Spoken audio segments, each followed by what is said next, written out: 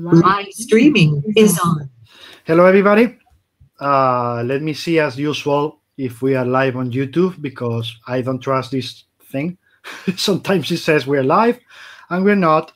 So it seems we are. So again, hello everybody. Good morning, good afternoon, good evening, good whatever.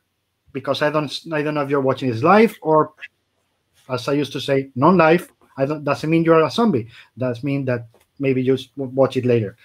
With us is the master, the amazing man, good friend, everything you can imagine that is a, a good a praise because he deserves all the praise. My good friend, Mr. George Pratt. How are you, George? Good. How are you? Thank you for inviting me. Oh, you deserve that and more, as I was saying. Um, how's things? How's life? How's everything in the middle of this uh, boring apocalypse? Uh, you know, for most, for a lot of artists, I think it's, you know, average days. you know, I mean, it's social distancing was what we did anyway. So going out is a little more dangerous, you know. So I wear a mask when I go to the grocery store and go out and whatever. Yeah. You wear a mask? Oh my god. I'm bad. what's what's the thing that um, that you miss the most?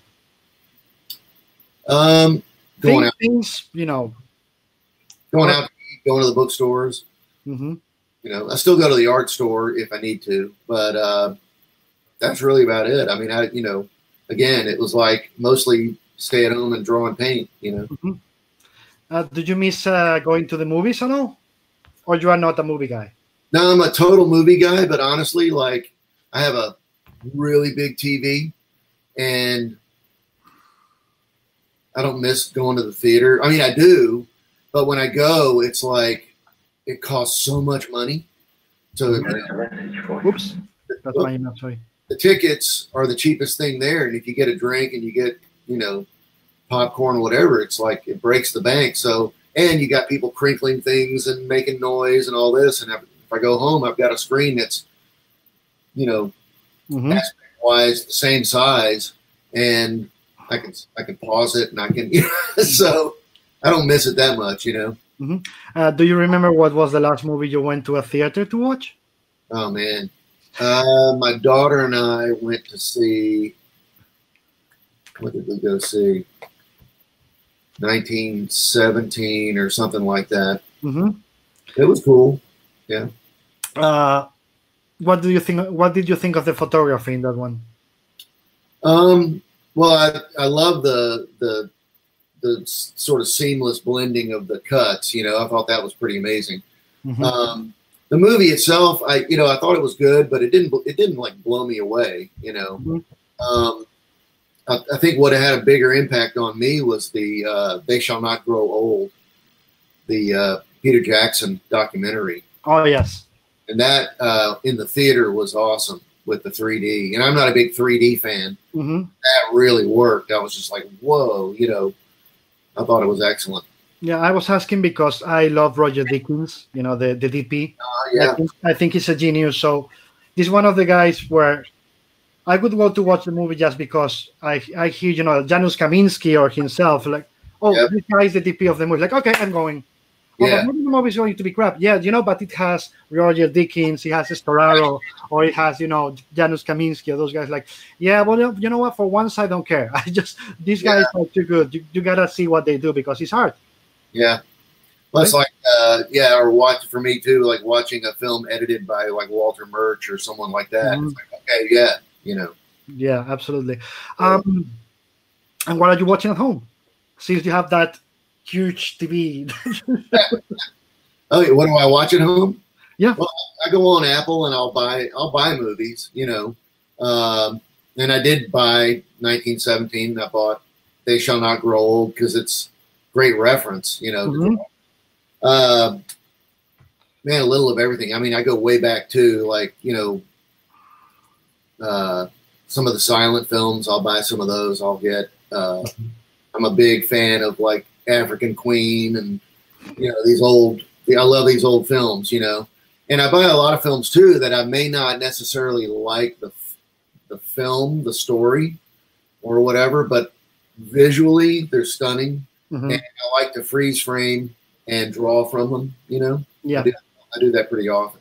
Yeah, I, I, I don't know if it happened to you too, but uh, during this pandemic, for whatever, whatever reason, I got so saturated with Netflix and all because they have so many things that, like, in thri- 30 seconds, I'm like, you know what? Screw it. I don't want to keep scrolling. So I won't go back to my library of, of you know, I classic classic films Yeah, and just go there and start like, oh, today is a day for German expressionism to say something, or today is John Ford, or today is David Lean, or whatever.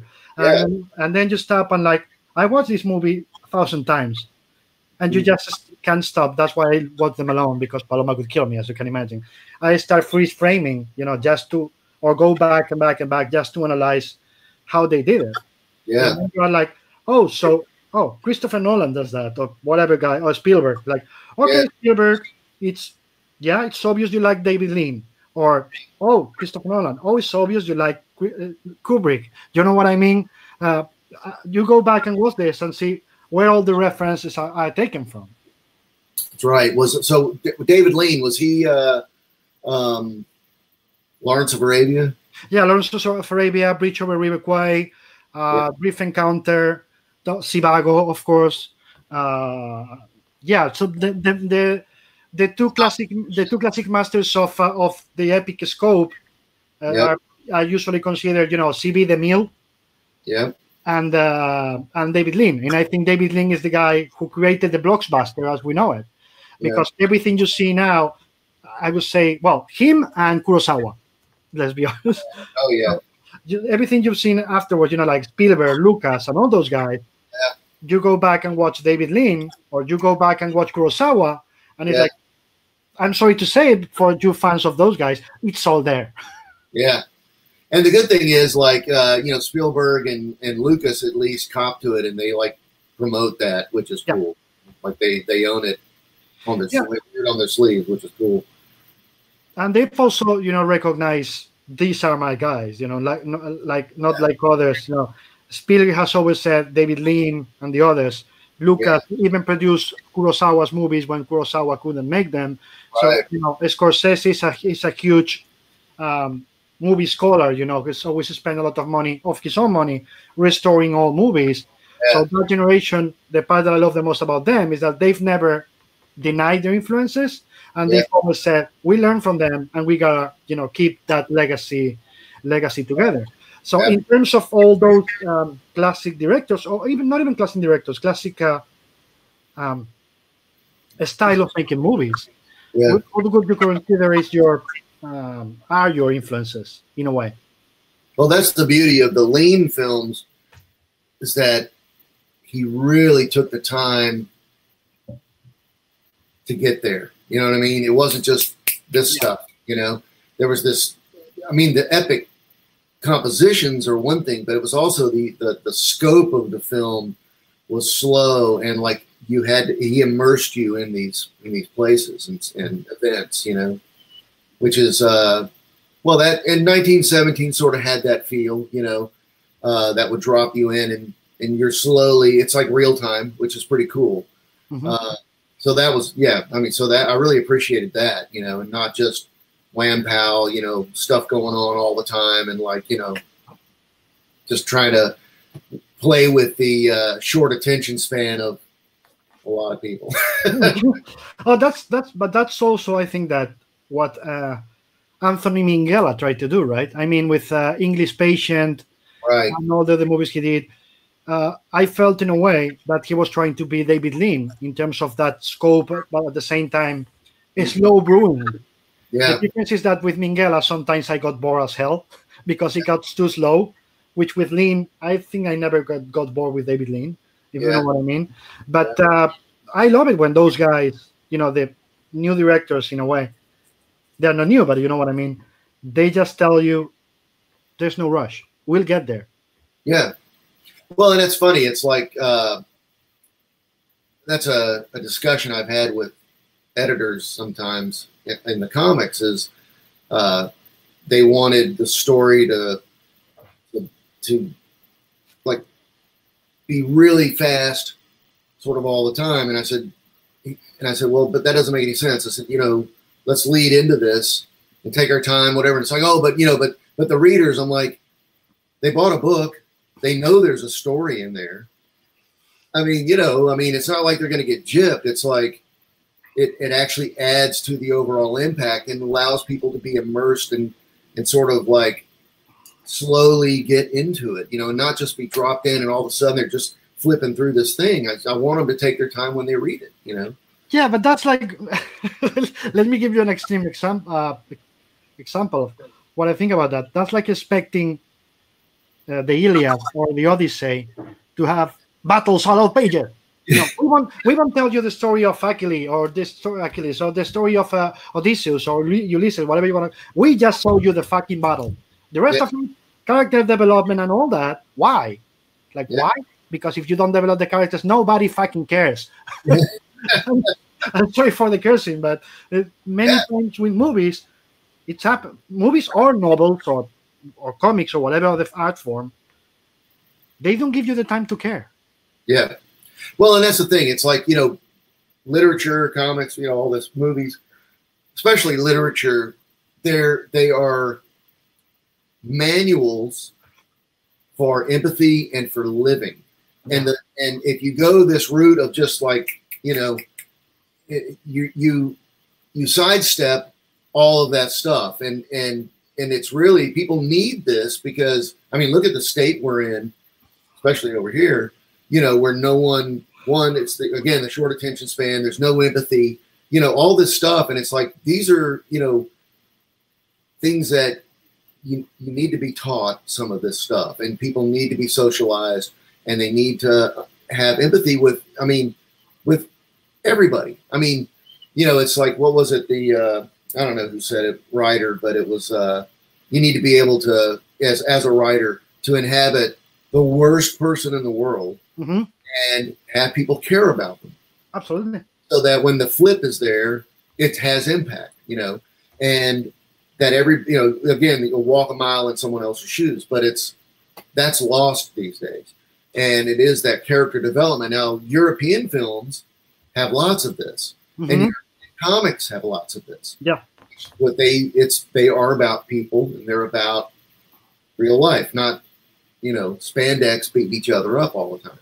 And uh, it's something that's really missed here I, for me anyway. You know, I go to the comic shop and I'm just underwhelmed every time I go, and I'm just bored. You know, it's like I want something I can sink my teeth into. Mm-hmm. And um, you know, I mean, and, now, and again, it goes back to this writer's thing. You know, oh, why did you write that book? Because I couldn't find that book. Mm-hmm. you know, I couldn't find the one I wanted to read, so I had to write it. Yeah, and that that's that's a that's a real thing. You know? But in a way, I think I think that the, the change has already come uh, to United to American comics, and you can stop it. I mean, I always repeat this same phrase. I had, you know, like six female, young female creators here, Spanish ones, in like three weeks ago. Uh, we were talking about sexual identity, you know, what they want to do in this to try and, and telling their stories, and about the controversies because some of them, some of them were trans, some of them were, you know, bisexual or lesbian, blah blah. blah. And I literally said, in the middle of it, I got angry and, and said, "Stop it! They can't stop the future. You are the future. They just can't. They're gonna fight." But you know what? They fight because they know they're going to lose. Yeah, that's that's the whole point. It's like they're scared to death. They're it, this thing is like rattling their cage in such a major way. And the thing that always blows my mind is like this has absolutely no impact on their lives. Absolutely nothing. Yes. And it's like, and they're so scared of it, and they're so they're they're so hateful about it. And it's like, tell me how this actually affects your life because it doesn't. No. It's so weird, you know? And I and I absolutely don't get it. It's like grow up, you know, join join the human race and get over it. I mean, it's like really bizarre. Yeah, but uh, for me, that's like the you know the the, the old Batman phrase that um, uh, criminals are coward and superstitious. a cowardly and superstitious lot. Yeah. Yeah, exactly. That's that's the exact phrase. Thank you so much for correcting me. Yeah. That, I think that applies to that people too. You know, everything they don't know, everything they haven't been educated for. Yeah. You know, they're they're like the sheep that with Trump. You know, yeah. they would all be said, jump there and die. after that hill. There's a precipice. You're gonna die. They could jump yeah, because you know they don't they don't know better. They haven't been taught to know better. So Yeah. of course everything that goes out of that square frame of mind, you know, like they have this box. Right. it's Thanos, but you know what? This these have this box, and everything that is out of this box makes them make them scared. They don't understand it, so they're gonna jump and react like, "Oh my god!" And like, no, nobody wants to change you. Like, I uh, years ago in Spain when you know, um, gay marriage. I think was the first, the best, the first uh, country in the world who approved, you know, uh, countrywide gay marriage. Um, you started to hear things like, "Oh, they're going to approve pedophilia," pedophilia uh, and you're like, "Wait, wait, wait, wait, wait, wait, wait, wait, what?" you're gonna really go there. It's like, and the people that are, you know, and again, it's projection. That's the really, Absolutely. Yeah, that, yeah. That's, that's like when priests, you know, complain about all those things. Oh, you know, the uh, girls shouldn't have short skirts. They are provoking. It's like they are provoking who? yeah, let's, let's be honest. It's you thinking about provoking you. yeah, So anyway, but we were talking about art. No, what I, what I meant with American comics is that more and more you see the real sales. I mean, I see Tilly Walden, or I see what other people do. they are not going to sell in comic stores. Yeah. Fine, but the last book uh, by Tilly Walden sold a million copies wow, which is what, how, what I always say when they tell me there's no there's no readers. I always go back and say no no no no no no stop. There is readers, yeah, but if you don't give them what they want, they are not going to buy it. right, But if you give them what they want, they are going to buy it. It's just as simple as that. And that's what's been happening in Europe a lot, especially in Spain. When you were here, you saw it. A lot of new creators that are doing a slice of life or whatever they want to do, just literally no limits. This is the story you want to tell. yeah, and they're selling like hotcakes in Spain and in Europe. And, and I think it's the same in America. If you and other creators working for book publishers in a big way just do what you want, the readers are going to be there. Yeah. The tough thing is, is the book publishers won't go there because they're there's you know again, it's like, well, this sells really well, always has, and they believe it always will, even though their numbers have been dwindling. And you're like, and like, I mean, I have a, you know, like I have my blues book, I have the Holocaust stuff. Uh, we did the, uh, you know, um, Black Light in Germany. We, we it was an international project on the African genocide, and can't find publishers for these things. It's too real for them. I'm assuming is part of the issue. And so, you know, uh, I'm working with uh, Kasra Ghanbari, Mhm. uh, who did 44 Flood and, you know, the um, Tome books to uh, do a series of books on my of my projects, you know, and finally try and just get these things out uh, as Kickstarters. Mhm. But that's that's literally the only way some of this stuff can come out, you know, because the publishers are petrified of certain things. They just don't want to go there. I mean, I, I, took the blues book to Abrams. Uh, Charles Kochman was a was a big uh, carrying a torch for that for a long time, and so I finally took it in, and it was weird because it was like, oh well, this isn't a picture book, and it's like, it never was a picture book. it's a it's a it's a written novel with comics and spot illustrations and recordings and you know, no, so uh, yeah, so I'm gonna have to just publish these things myself, you know, um, with Kasra's help. Which, but that's yeah, Yeah, that's crazy, but it'll get there. We gotta trust. I, I think the, the market's gotta get there, whether they like it or not. They need it.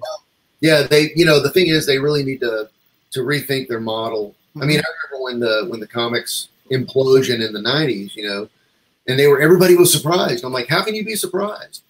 You're putting out tons of crap. Yep. Sealed in plastic bags like it was going to be worth something, and it they were garbage. Yep. And there were millions of copies. Yep. It's not gonna. It's not. They're not worth a dime. You know, and they would never be worth a dime. Absolutely. And they did it to themselves, and it's like no big surprise. You know. So, yeah. And there's there's you know, and the thing that's beautiful about a lot of the independent publishers is that they're playing with packaging Mhm. you know, formats. And but the big companies won't go there. Marvel and DC, they won't go there. They're so wed to the the pamphlet, Mhm. and you know, and then they're reprints the same size as the pamphlets, and you're like, man, people, come on, you know, there's so much that can be done here, and they're just dropping the ball because it's again, it's the the fear of the unknown, I guess. Yeah, you were here year and a half ago and you saw how the market is. We have like a million formats because depending on the book and depending on what the story you want to tell, maybe novel size, maybe album size, maybe comic book size. Even Yeah. with the reprints ECCD, uh, you know, with your stuff, remember that both books, one was one format and the other one was another format because Yeah. it was this is what the readers want for this book. You know, they want smaller for Enemy Ace, they want bigger for Batman, or the other way around. Yeah, Because that's what you have to play with. You gotta know your reader, and your reader doesn't want the same format for everything. They just don't. yeah.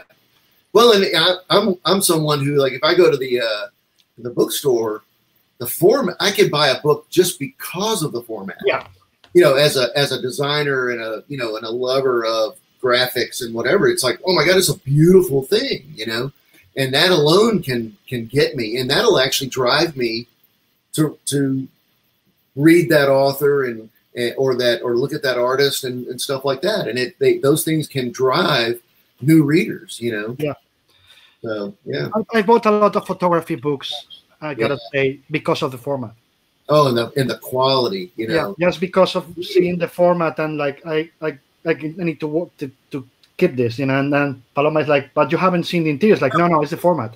It. Yeah, you know, I, I need to have this in my hands and study it because they they there, you know, they try something different. yeah. It's a beautiful project, and they're playing with textures and and papers and yeah. I mean, Yeah. all that. and this is what I think is missing in comics. You know, Yeah. it's uh, you can't do. I'm sorry, you can't do Ace in the same format you do uh, Batman or Preacher or it, it needs another format. It's it's for another reader. It's not the the same guy who's gonna buy.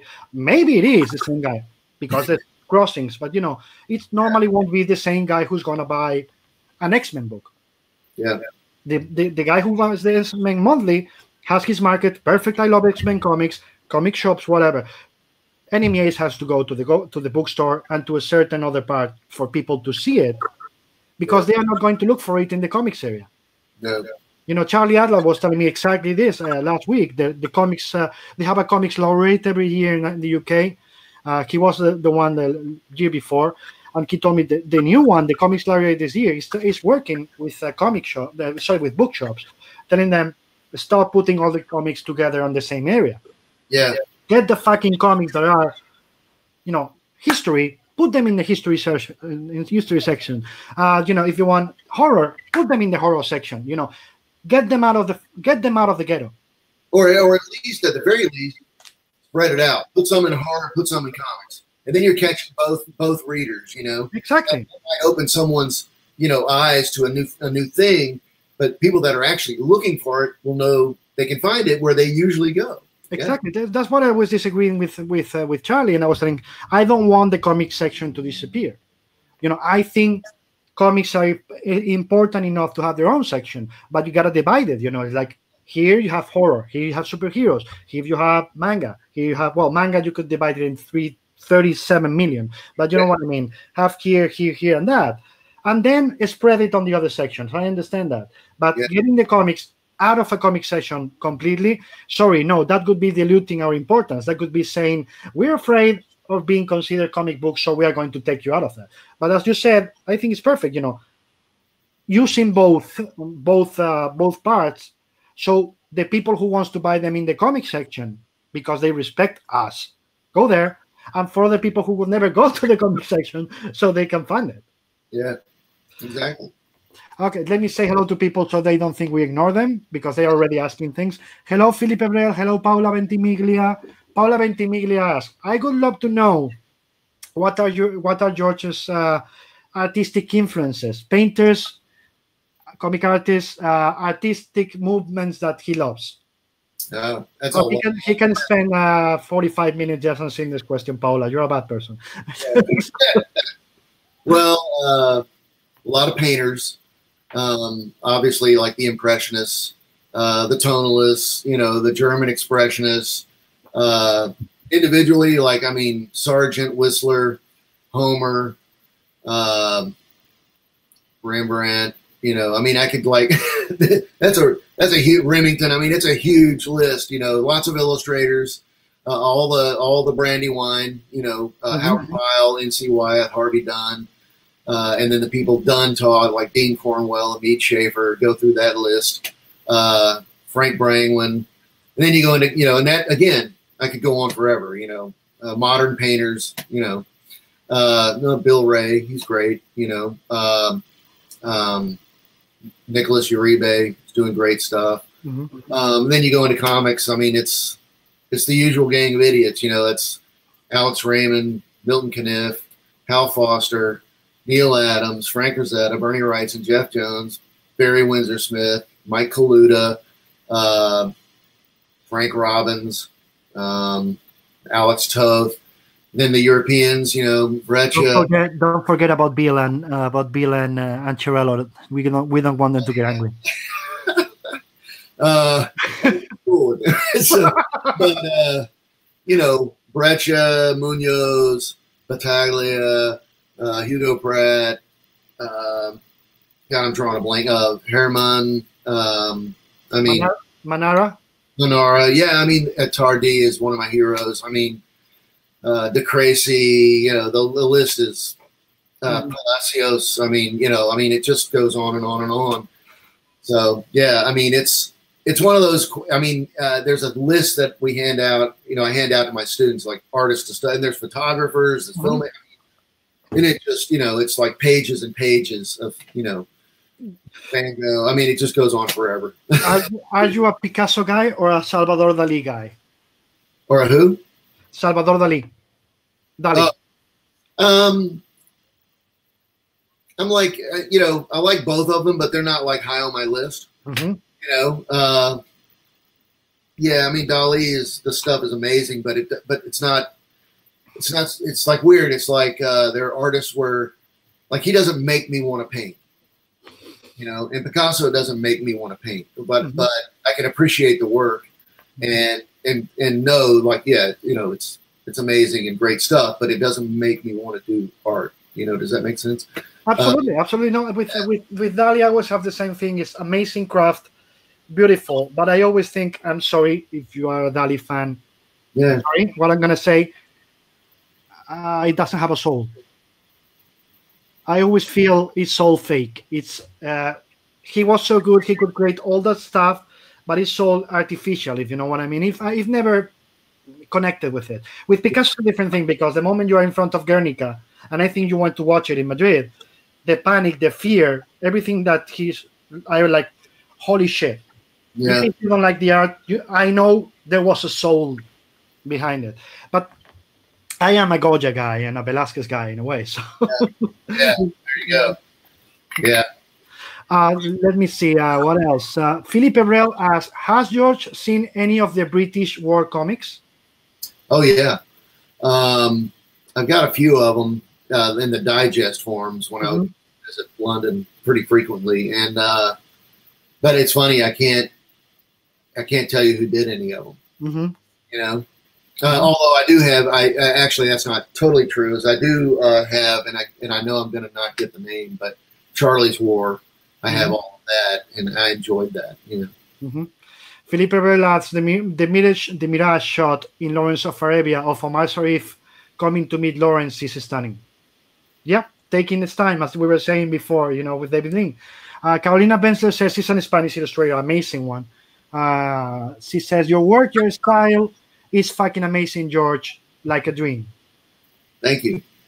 Uh, Angel Perez says, Hi, Mr. Pratt. It was an honor to meet you in Heroes Con Madrid. Could you tell us what kind of research have you done? Uh, did you do, in fact, to to create such different works like Enemy Ace or Batman Harve- Harvest Breed? Um, well, the you know it was really interesting uh, for the Enemy Ace stuff. I was a my father was in World War II in the Navy, and he was constantly reading books about that war in particular.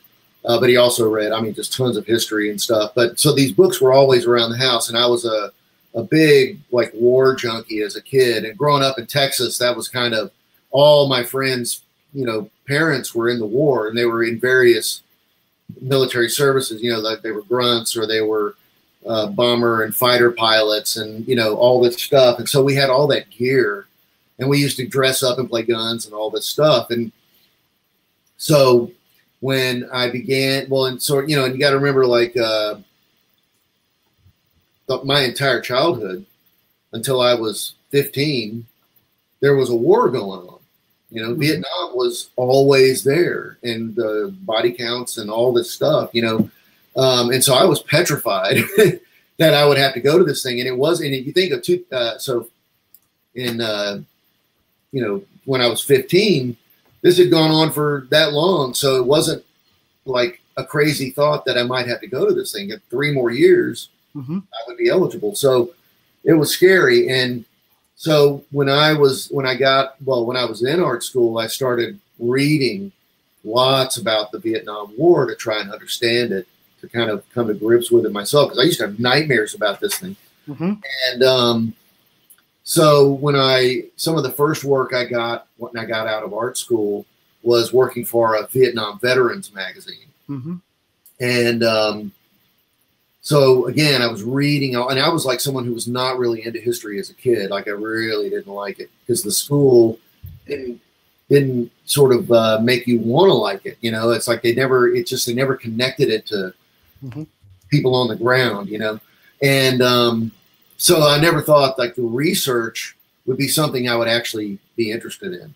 And once I started diving into the First World War on top of the Vietnam stuff, man, it was just I could not stop. And the the research has become one of the most enjoyable aspects of what I do. Mm-hmm. Uh, almost to the point of like, like I need to stop so I can get it done, you know.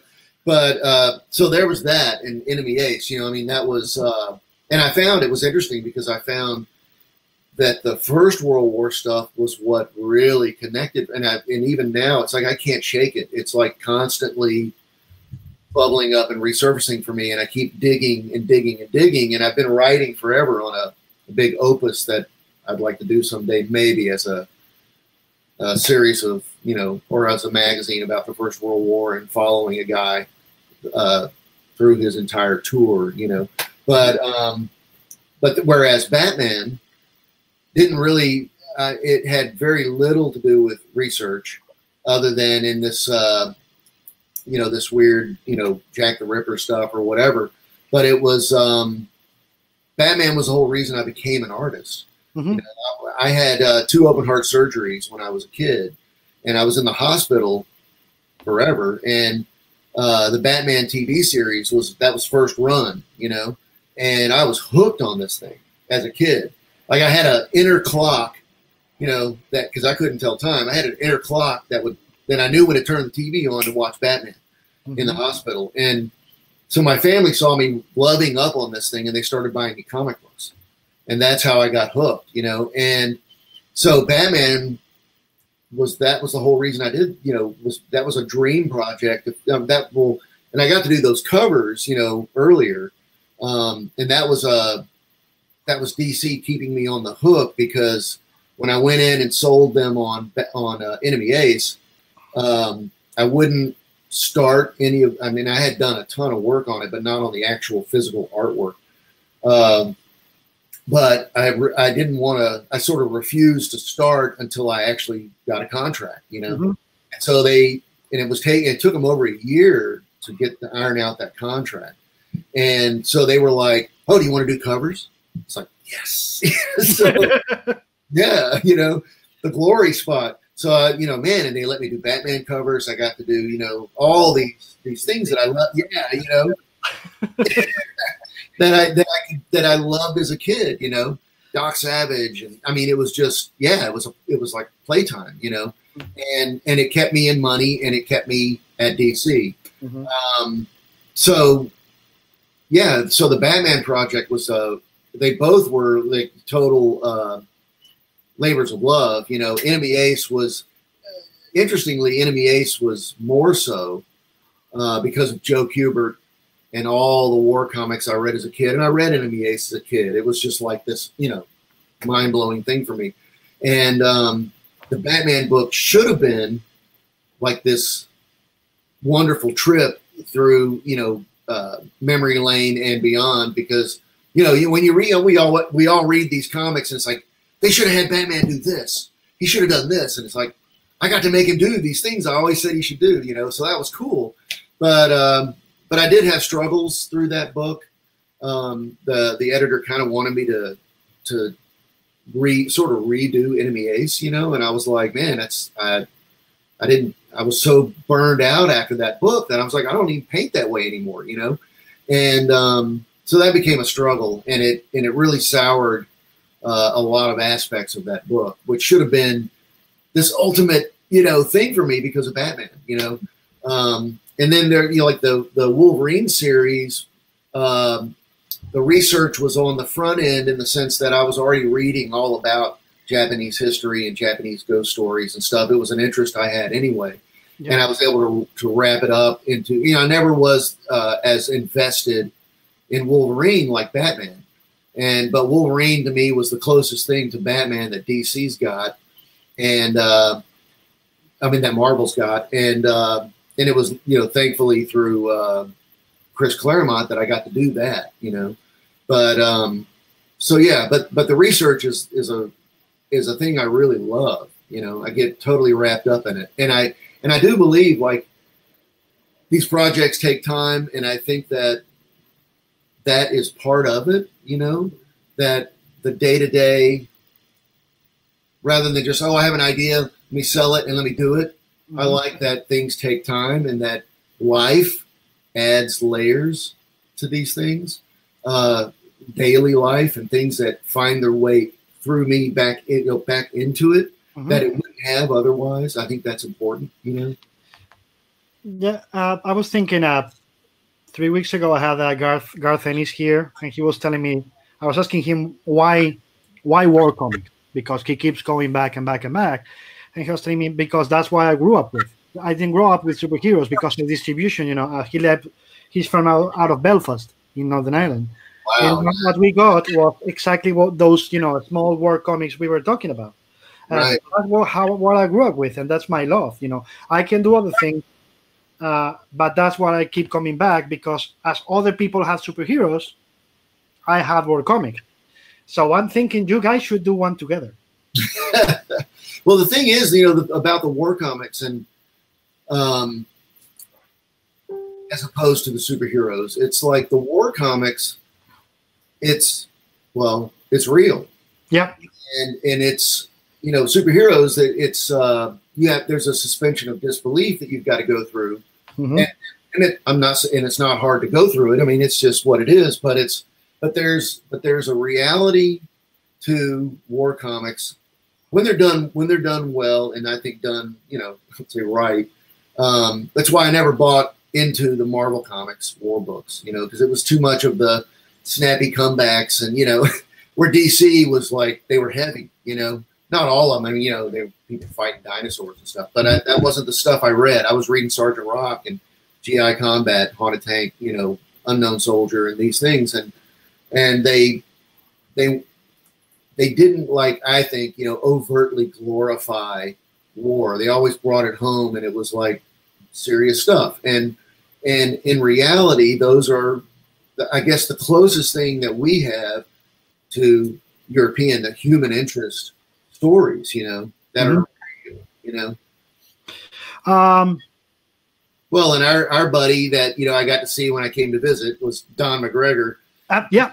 And these are people, you know, he was able to take heroes and give us that.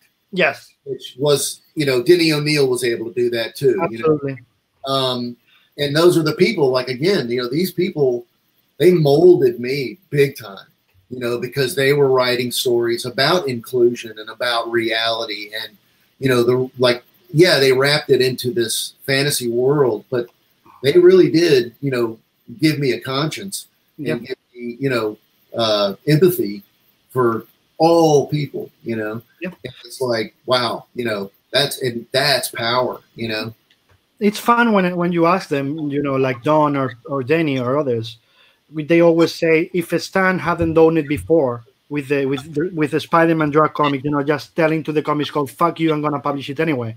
Yeah. If he hadn't done that, we wouldn't be able to do to, to do it ourselves. That's he, right.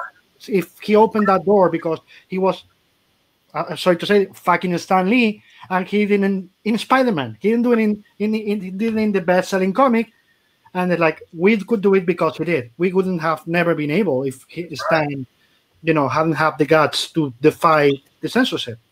Well, yeah, exactly. And then you've got uh, you know the, the studio gang and Craig Russell, you know, certain people in, in in the industry that were all about the art, and they weren't about it was not house style. They they invest you know rights and they invested Mhm. so much time into these beautiful pages, and that opened the door for my generation big time for us to like actually like not have to draw Batman the way everybody draws Batman, and to be able to bring you know painted comics in. Uh, and you know, someone who doesn't get credit for that, who really should, is Howard Chaykin. Yeah, that's what I was, was going to say because you have the studio guys in one side, and then you have the other crazy studio where Starlin, Chaykin, right. uh, in, in uh, sometime you know Frank Miller and the others, and Walter Simonson, of course, That's, crazy changing the language. that's right. And you have the studio guys changing the language in the art side again. So, you know, I think it was more more or less at the same time, right? Yeah, and it all came together, you know. Yeah. That opened the door for for my generation big time. And I and it's and it's interesting is there are people who get credit for the painted comic thing, and it's like and I, I forget what what it was on Facebook or something, and and I chimed in about Chaykin. I'm like, well, you know, Flowers of Heaven, Roses of Hell, and blah, blah, and I'm like, these were they way before that, you know, and totally blew my mind at, when I was in high school. You know, like, huh, you know, the the possibilities. Then just you know, and you saw a lot of that in European comics. You know, uh, in heavy metal, in Metal Hurlant and all that, where that you know, it took a while for America to kind of get on board. And yeah, you know, Yeah, but I, I- agree with you. At the same time, people tell you, well, there was that stuff in Europe, and I always answer, yeah, but it was in America, for, with the exception of some translations in heavy metal of Metal. Yeah. The rest you didn't see. It was yeah, not. I don't think it was because of the European stuff that Howard and the others, you know, did it. It was just a time when they started and said, "I'm going to do my thing." yeah. Well, and it's like, well, and you know, you I, I think too that there was a there was cross pollination going on uh, through people that went to European festivals Yeah. back in the 70s, you know, like Jeff and the gang when they were touring and they so they're you know then then you're being exposed to like how come you know how come we just now got Paramus, you know, and I mean I know they tried in the little magazine format at one point, but it's crazy that we're just now getting this, and you know, and Palacios, forget it. There's there's nothing in English Yes. It drives me insane, you know. But I've so I've got this massive you know, European library that I can't read, but but the art is like stunning, you know. And and I you know, and so in my classes, I'm constantly bringing this stuff out. and go, you know, this is what you guys are missing, you know. And you're over here drawing manga. Look at this stuff, you know. Like, come on, like step up, you know. Yeah. I mean, Well- nothing against manga, but it's like shoot for the moon here, you know. Yeah. No, absolutely, absolutely. You know, it's never bad about manga, but it's always bad when you only have one influence instead of You got to have more than one sandbox. You got to like, oh you got to get out, get, start throwing the sand out of the box. You know, come on. No, that's why I used to do, not in your case, but with many uh, American creators, I used to tour them through the con, you know, for not anymore because it's easier to get, but like 10, 15 years ago, it's like, okay, this is Mandrafina, this is Jose Munoz, this is. I remember when people in America didn't know Alberto Breccia, Yeah, and I was like, or Bernet, you're Yeah. you gotta watch this. And it's like, oh, I know this. I didn't know it was this guy. And then, you know, torpedo. they start with Mort Cinder, and it's like, oh shit. Now Yeah. I understand, you know, Sin City in a way where, you know, and they, they start to understand, oh, Frank Miller has a lot of influence. He's studied comics. Yes, he has. Like, he's not just the guy who's crazy and does this stuff and does these comics. No, Frank Miller is a scholar of comics. The guy has studied a lot of manga, studied a lot of European, Argentinian comics, and that's where the the milk of influences is in his work in Sin City. You don't do, you know, that rain and that scene without having watched Breccia before, for example, and things like that.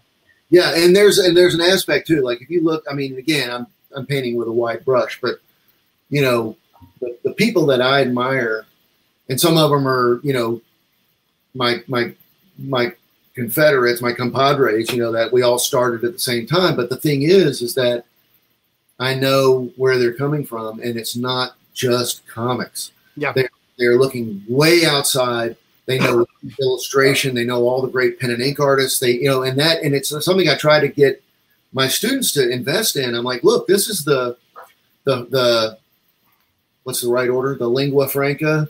You know, this is the this is the language that we speak. Yes. That professionals speak. And if you don't know this language, this history, you're you're cut out of this. Absolutely. You can't communicate in a in an intelligent way that will, you know, because when we talk, like I go, you know, I teach every summer with the Illustration Academy.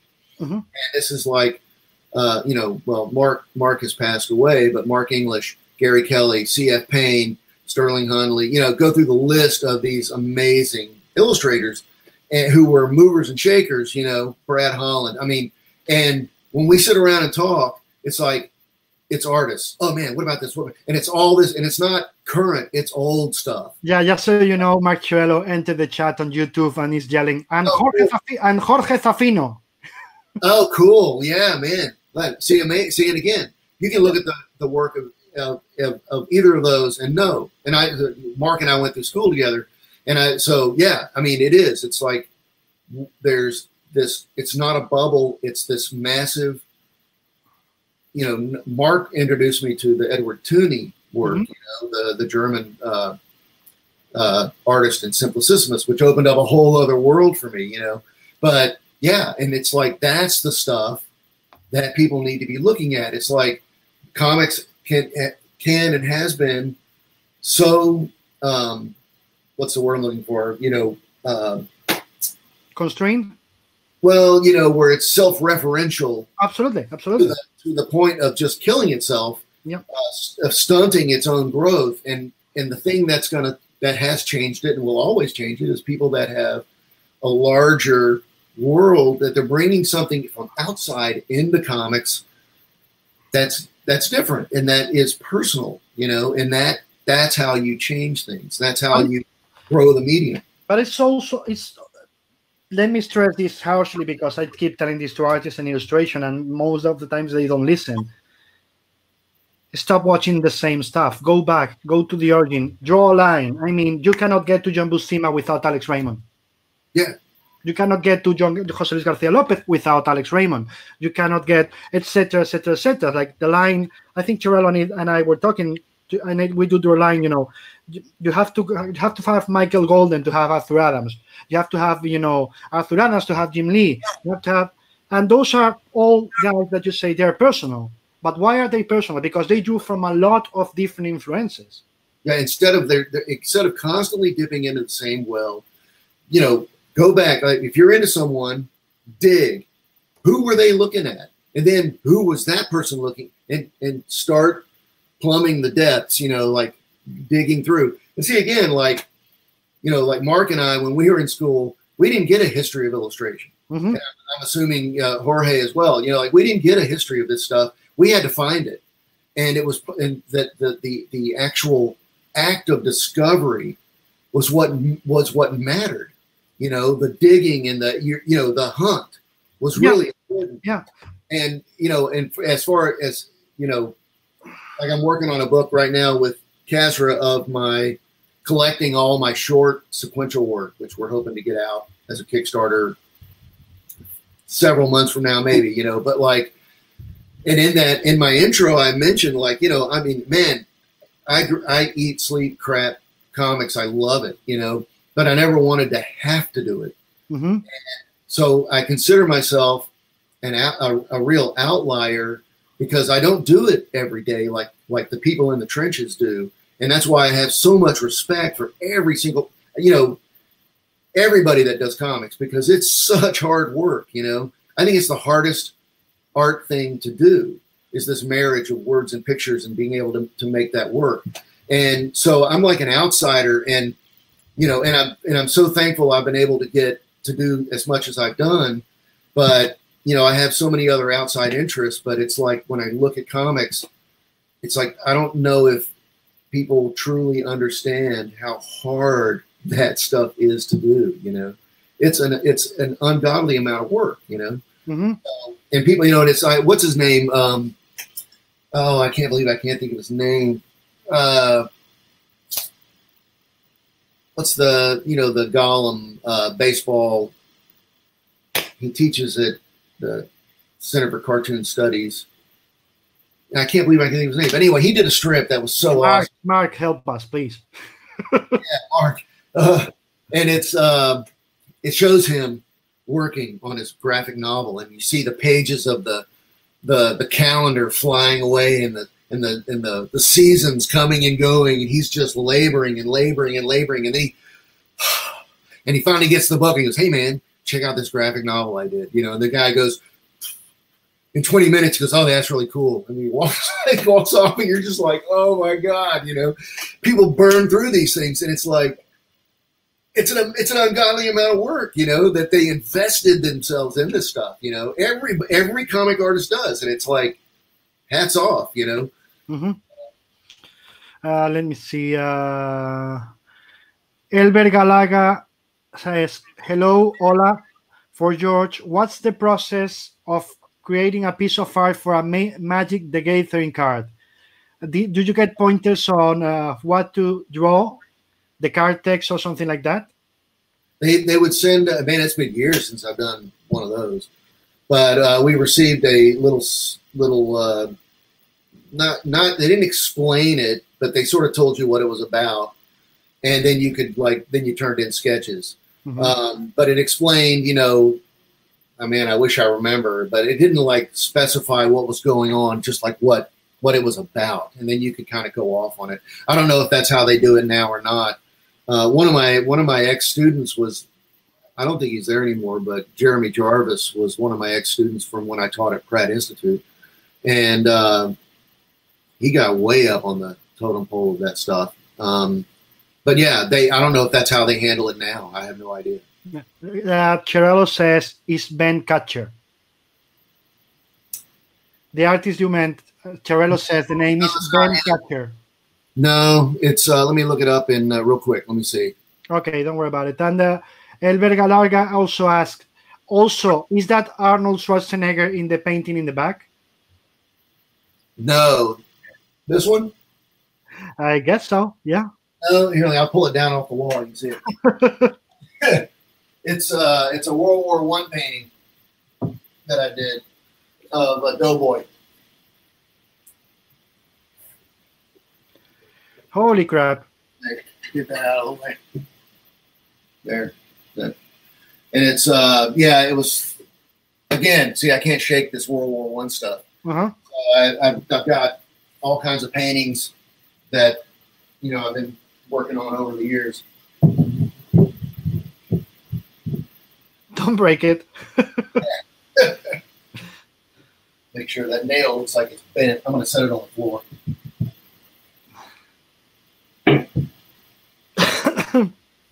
yeah. when you have more time, just put it back safely. Yeah. The nail is like this. I, yeah, Okay, Yeah. so it's not Ben Katchor, Mark, just so you know. yeah. It's um, man. I'm going to look it up real fast. Yeah. Uh, Let's see. While you watch, uh, Felipe Bell says, My daughter did her thesis on Mexico comics. Her tutor picked, picked it, not me, but they were some incredible work. I never seen, have never seen any com- Mexican comics before. Um, Um, only in like histories of comics mhm. have I seen those. Um, let me see if they have a thing here. So alumni programs. Surely they tell us the. Uh, all right, let me see. Meet. No. Um, let me go down here. Um, and, and I can't believe I can't think of his name because he came. He even came here and hung out. Mhm. Um, about. Uh, Let's see, see overview. Let's see. Board of Trustees, contact us. Uh,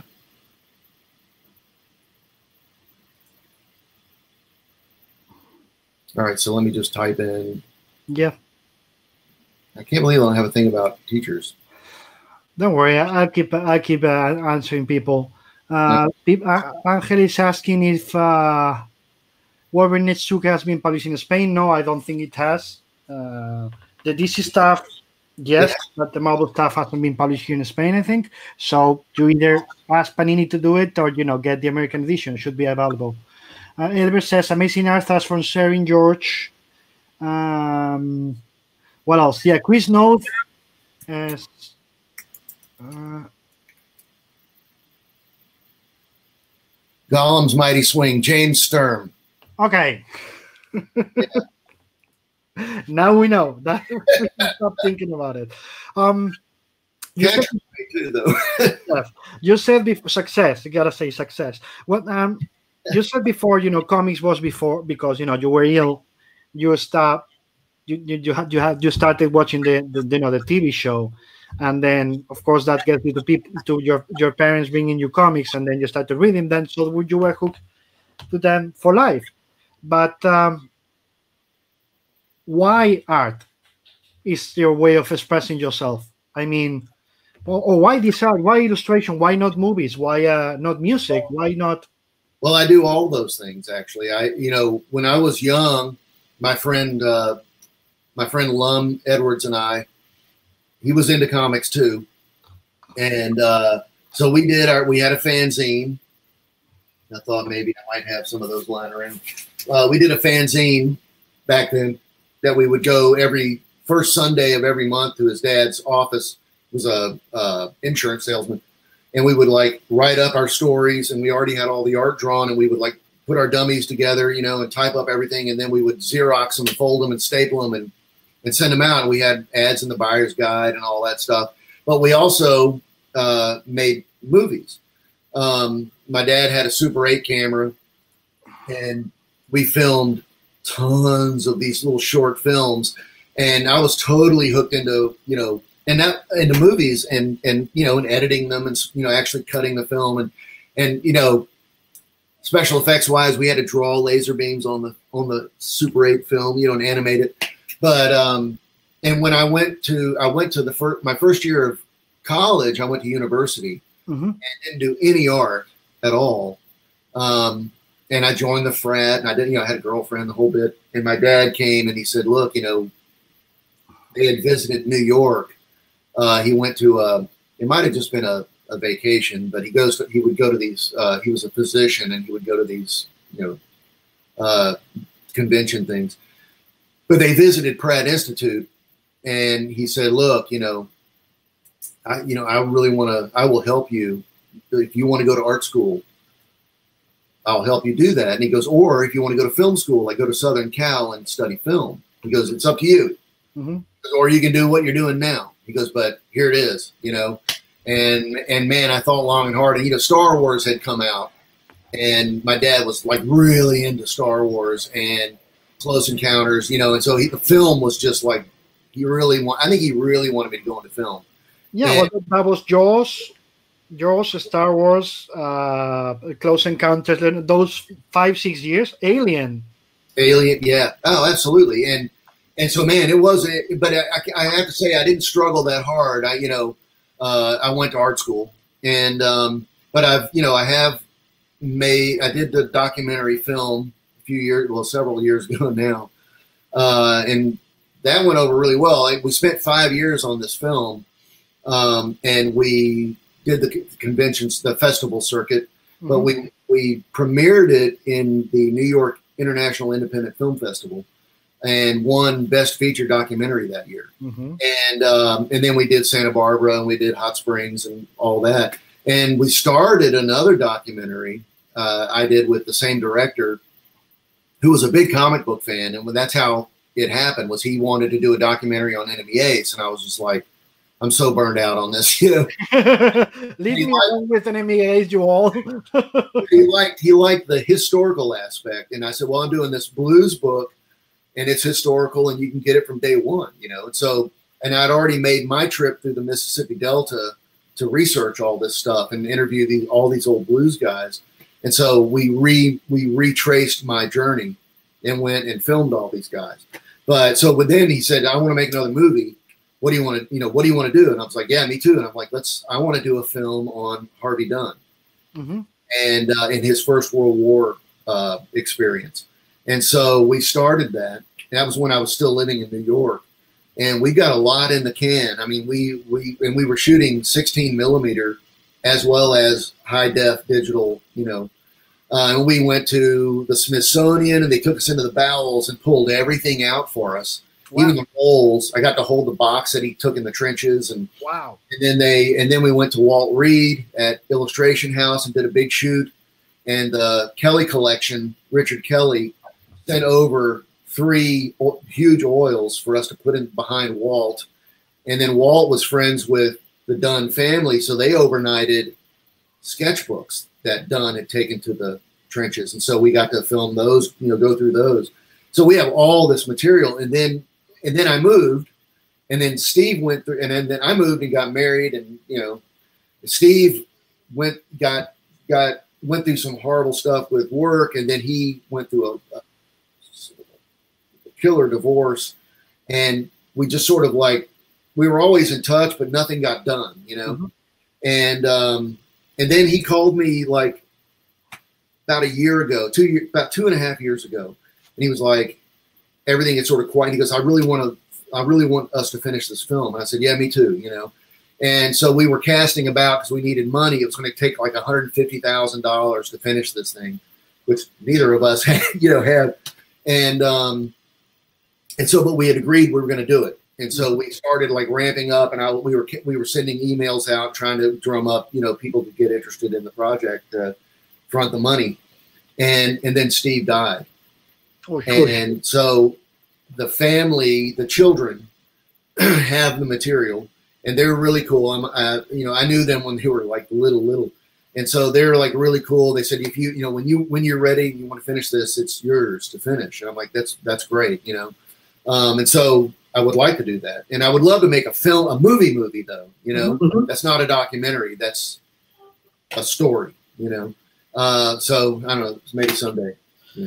Is there? Is there- uh, Um, I mean, we, we oh, I'm hearing myself. That's weird. Anyway, I was saying,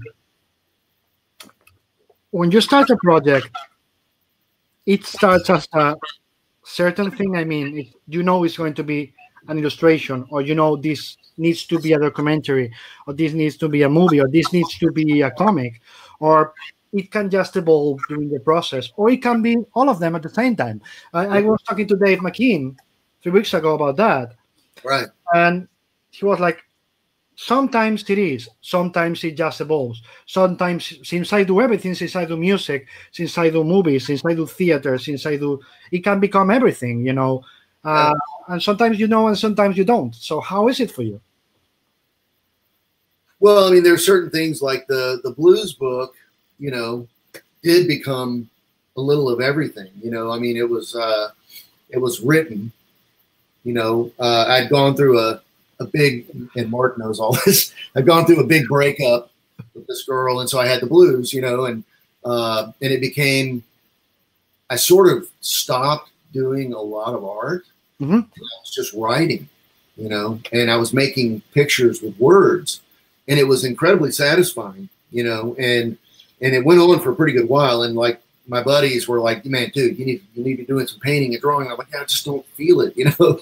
And uh, but it also encompassed my love of that music and and then and then being hit up to and and you know during my trip I uh, that was that was the point where um, too so photography and I come from a long line of photographers. My great grandfather was a professional photographer, portrait photographer, and my granddad was a filmmaker. Uh, that that wasn't his occupation, but he we have reels and reels from like early 1900s Mhm.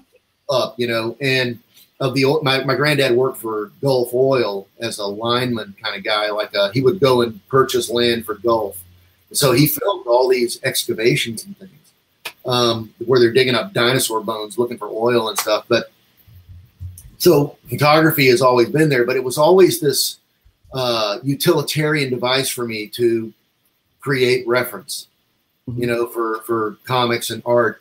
And when I went down to the to the Mississippi Delta, that was the first time it became when I when I connected it with an art form. And I not that I didn't think of it that way anyway, but not for myself. Mhm.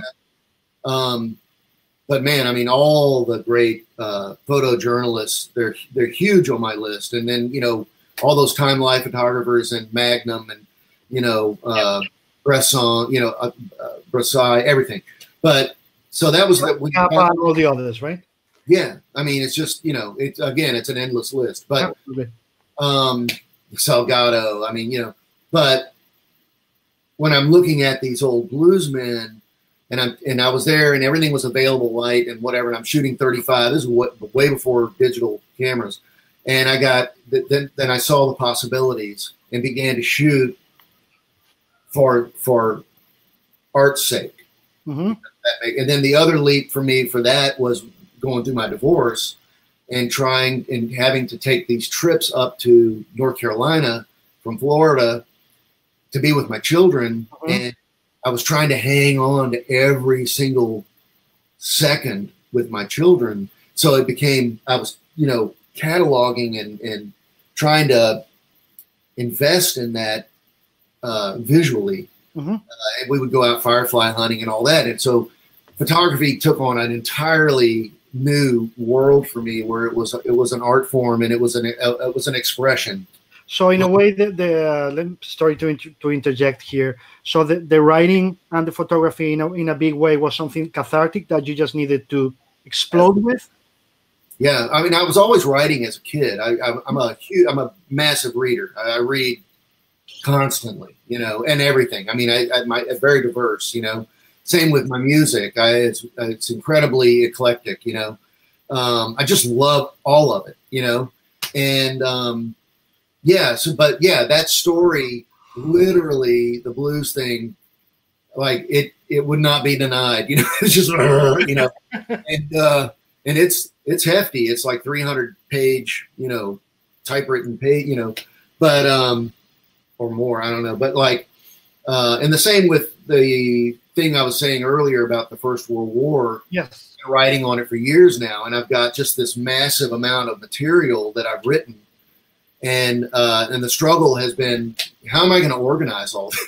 you know, how do you organize all this? And the more I thought about it, see again, this is the beauty of, or or maybe the curse, but of it taking so long and being able to step back and see, you know, the the thread and and when I'm thinking about it, like how do I string this all these disparate things I've written together of this guy's journey? And the more I thought about it, I said, well, wait a minute, you know, like our lives are linear only in the sense that we look back through it. hmm Does it make sense?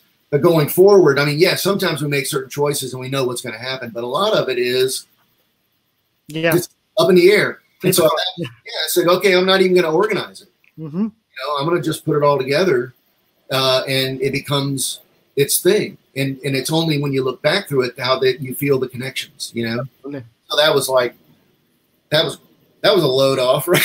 You know, Got that aspect, but but again, you know, hindsight and all that, and and it all comes together. You know, Yeah. just And- and, and that's funny because that's also something that I keep telling about us comic readers that we experience time different than the rest of the world.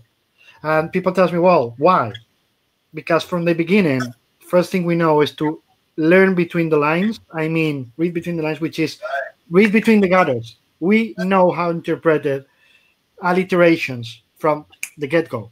Yeah, So always when we read we read a book, we read the news, we watch the news, whatever, we are automatically uh, trained to not take things literally, yeah, to read between the lines, to look from what's behind. And the second thing I say, this is the mo- why that's why it's the most complex and difficult art, because not only we read between the lines, comics is the only thing that can. Chiarello's going to think I'm fucking nuts for saying this, but I always repeat, comics is the only thing that defies Einstein's relativity theory, theory, theory because we can manipulate time in any way, shape, or form we, we can. And he's the only art who can do it. Well, you don't think film does that? No. Really? Thing has, to, thing, thing has to go from um, uh, first, with exceptions, of course. Uh, first art, second art, you know, beginning, middle, and end. But with comics, I can take you, and I have to go to Watchmen as an example. I can take you from in issue one and show you a character in the back in, in panel three of a page, and then on issue five, I show you that character, and I'm telling you it's happening at the same time, although we have five issues, and I just manipulated time in a way you could never you could never get. And all the layering is there and there and there. So it's constantly the art form is a manipulation of time, believe it or whether you like it or not, because just the shape of the panel determines the timing. So of course, of course, movies do it in a way, but I think it's so embedded in comics as an art form that whatever you do from the first second and panel to the last is a manipulation of time that I don't think any other art does it. Yeah, it's interesting because there there are some that say you know comics are movies on paper, and no, no, yeah, no, they're not, and it's. Uh, and you know, what's interesting too to watch movies, and, and you saw Lucas playing with it in, especially in American Graffiti. Yep the split screen stuff, struggling to break that format and to show multiple things going on and to change that that thing they're stuck that's, with. That's Lucas. Let me say it this way, and I know he's a huge fan and a huge collector. That's Lucas trying to use the comics language in a movie. Absolutely. It's not the other way around. And the right. people who tries to do uh, movies with comics, they don't do good, good comics. They do shit. Yeah. we try to get a language that is not ours. Yeah. And shape us as we are we're not. You know, the best comics are always the time who are just pure use of our language. And then others try to copy it, you know, and we've seen a lot of movies trying to emulate the comics language. Yeah. And with few exceptions, it never works. Yeah. Because with with movies, you know, of course you have uh, elapses, you have jumps, you have you know black screens to tell you this thing has ended. You have Kubrick making being a genius with the again with the language and the timing in 2001, just to give an example. Yeah. But with comics, it's just natural. You don't have to force it. Yeah. If you want to do a comic, you gotta play with time. You gotta play with the situation and with the spaces. The other languages, as, as I said with movies, you go from point A to point B to point C to point D because it's part of the language to tell you a continuous story. You cannot change the location. You can, but even see what I mean. When you're doing a movie and you're to jump in time and place, there's a, there's something that says, you know, like in the James Bond movies, we are now in Rio or we are now in Venice or it, three weeks later. Yeah. I can take a comic, not telling you anything about that, just change the coloring from one panel to the next. And I already told you, time is different, place is different. But there are things we borrow heavily from from film. Yep. In comics, you know, and it's just part of the language, which is establishing shots, close-ups, uh, extreme close-ups, and you know, and then the splitting of panels, one image, chopping it up, but that's a nice, you know, pan or dolly shot, and you can, you know, so we do bring certain aspects of it over big time. But the fact that we can change the structure of a of a scene, you know, the actual graphic of it is huge. Yeah. You know, um, big time. And comics had dolly shots because before dolly dolly cameras existed. Yeah.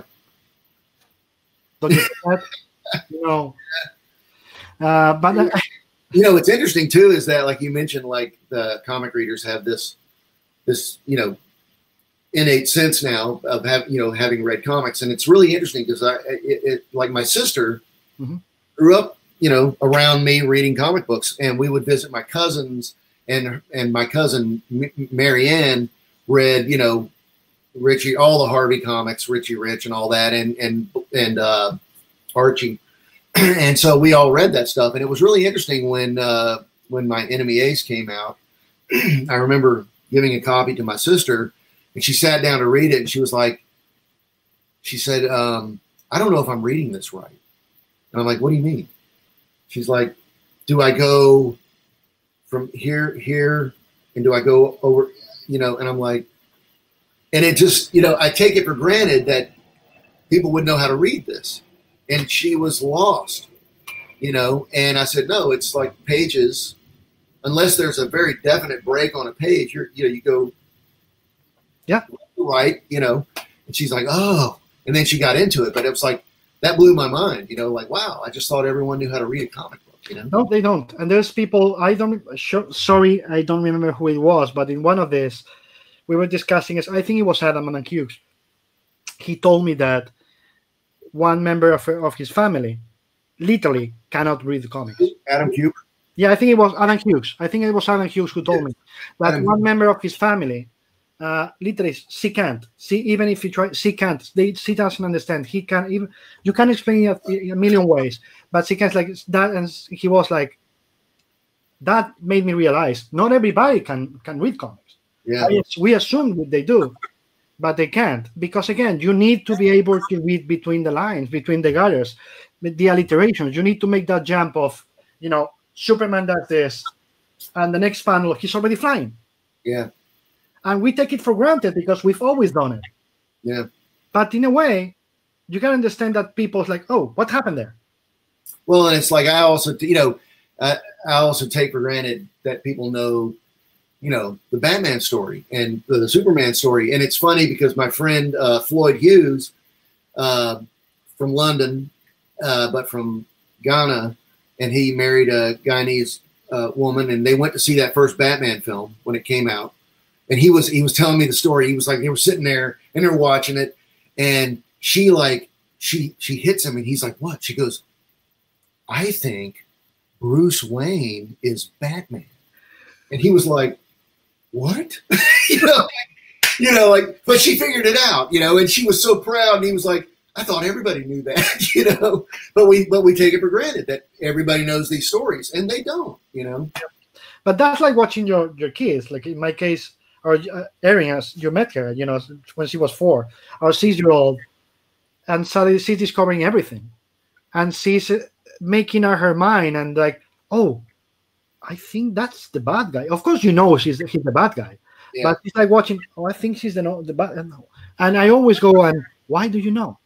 Like oh, because of this and that, and you see how they put all the strings together, and you're like, wow, they think they, the thing we take for granted Yeah. discovery or you know like the other day i think she was doing lego, lego you know the lego cartoon with uh, with the avengers and suddenly she goes like tony stark is iron man and we're like what? Yeah tony stark is iron man. Like how do you know? It's like the armors are there. That's his house. Yeah. and it, it wasn't him pulling uh, that was like three seconds before you know the the, the armor plate open. Yeah. like you you watch it before. Like no no no. It's he's in his house. He's landing. He's iron man. Yeah. that's what I just said. You know we take it for granted but the moment you see how they put all the pieces together it's so amazing. Another fun thing was my my cousin uh she's all she's grown up now. But when she when that first batman movie came out she was you know just a little kid. And i remember we watched it and she was like totally into it. And i said okay now i want to show you another another batman movie. She's like oh. And I, put in, I put in the adam west film and we she loved it and i said so what's your so which one is your favorite Batman? And she's like, she looked at me and she was like, what do you mean? And I said, well, I mean, she goes, it's Batman.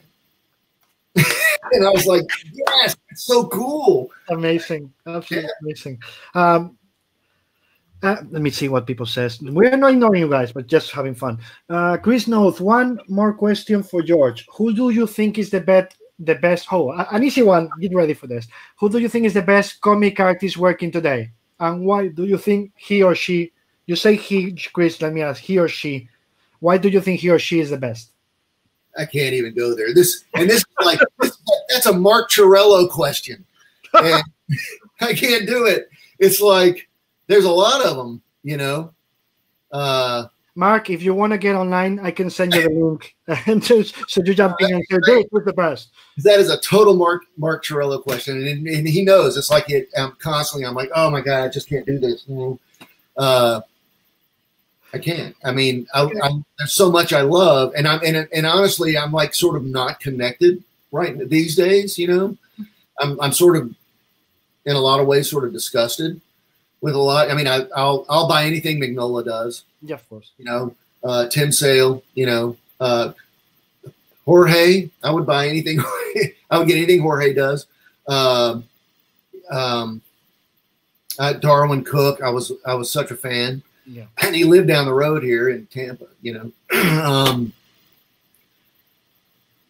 I mean, yeah. I mean, it's it's that's just I can't do that Mm-hmm. because they're all so different. You know what I mean? Absolutely, absolutely. That's also a big part of uh, what comics is. You know, like Mark loving Ruben Pellejero at the same time he loves Adam or Tim Sale, or or you know, we're talking about Palacios or. Uh, Yeah. or, or Jose Munoz or any of the other classic Spanish ones, you know, like Jesus Blasco or any of the others. Uh, that's what they all bring something different to the table, and that's why I love every one of them. You know, it's like they're not the same, and it's and I can't I can't pick things like that. You know, um, yeah, I, I can't even go there. You know, Yeah, when I when I'm asked about that, like in movies or in comics, I always say the same thing. Okay, I'm going to give you one answer. Why? This is the answer I just thought about, and it's today. Ask me again tomorrow, and I will say another one. Give another one. Yeah, yeah. Well, how's your favorite movie today? Okay, today's Bullet.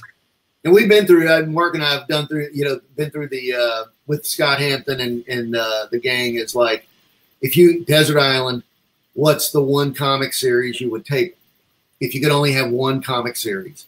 And uh, it was either EC or or creepy and eerie. you know, for me anyway, because then it's like you have all these incredible artists and you have all these stories. You know, Mhm. but uh, but again, you know, see that just is a killer question because that means I got to give up. You know, Oh, yeah. Adams Batman and all my Swamp Thing and all you know all my Sergeant Rock and you know I mean like it's just that's murder. You know, Yes, absolutely. Cruel, unusual punishment. Uh, let me see. Uh, I have a question. Chris says, "What is George's retirement plan?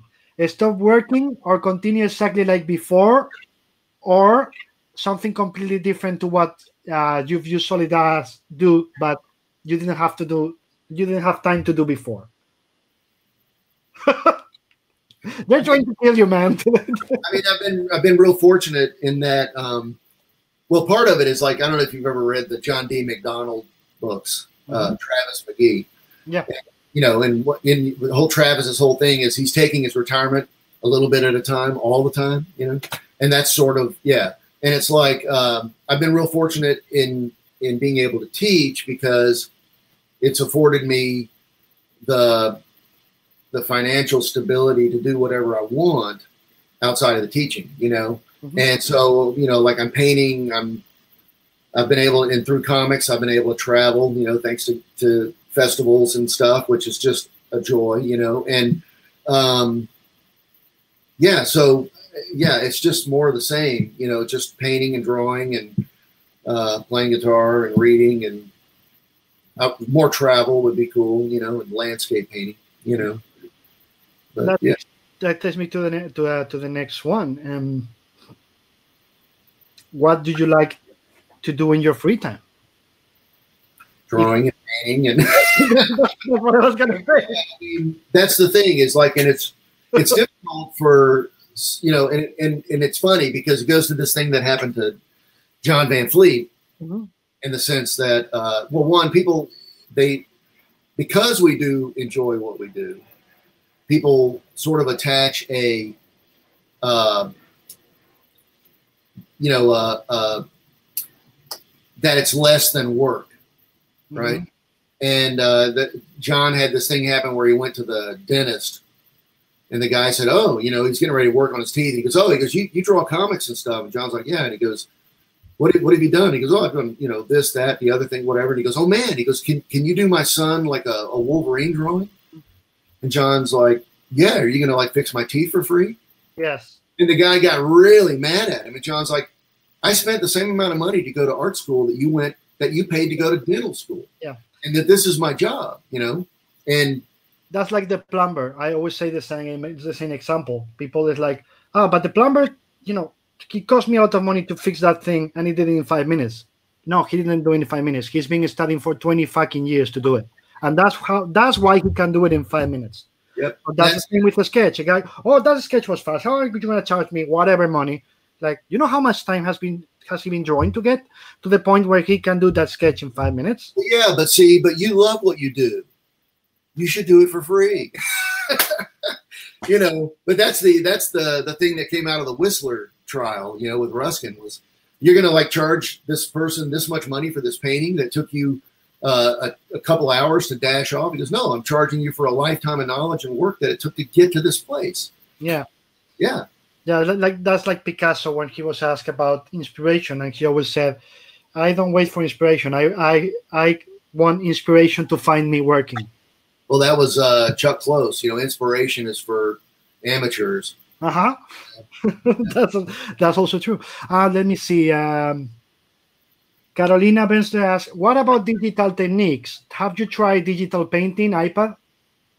Yeah. Um, if I get my iPad, I can show you a couple. Let me grab it. Oh, And I don't, I don't do it for real. You know what I mean? For like jobs. But let me grab my iPad. okay.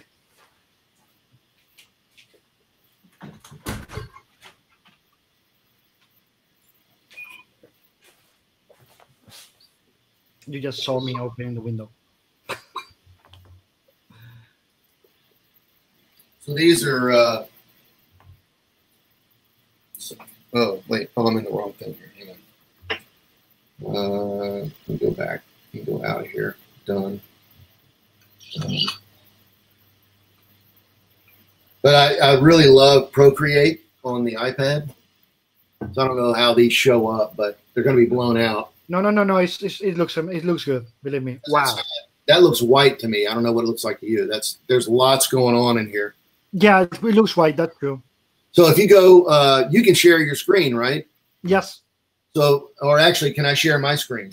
yes, you can. It's in the yes, in the in the at least I see it in the lower bottom left. There's like a screen that says share your, share your screen. Share your screen. All right, let me go. Let me let me call it up first.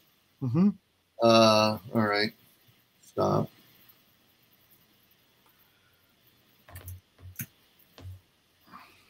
Okay, let's see. Organize.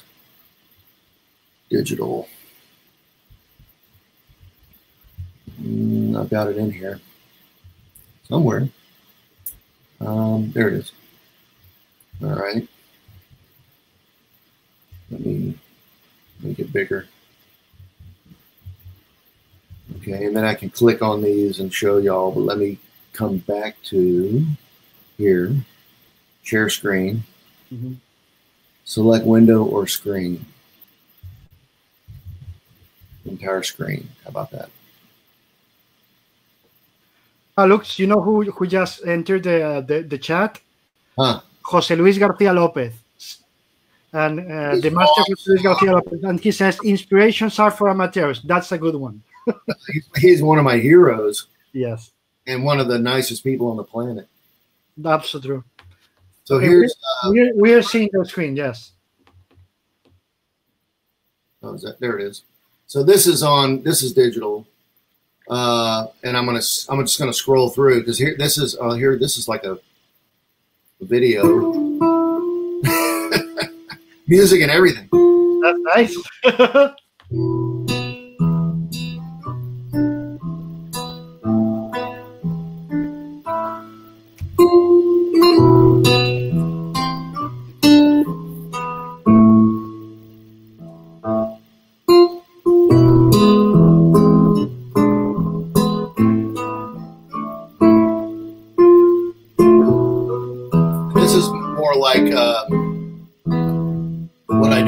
sketchbooks,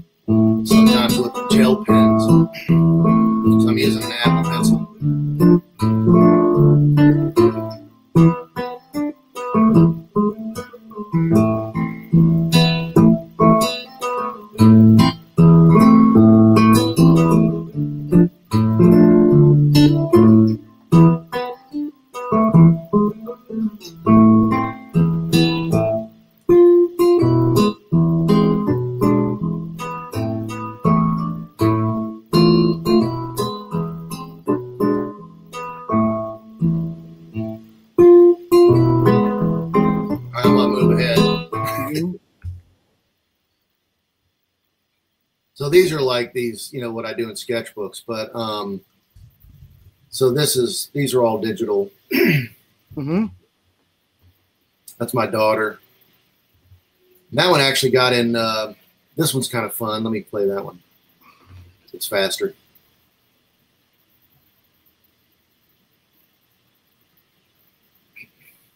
And I make And this is all Procreate. yeah, and I make my own brushes and stuff. hmm and I only use really like one or two layers max.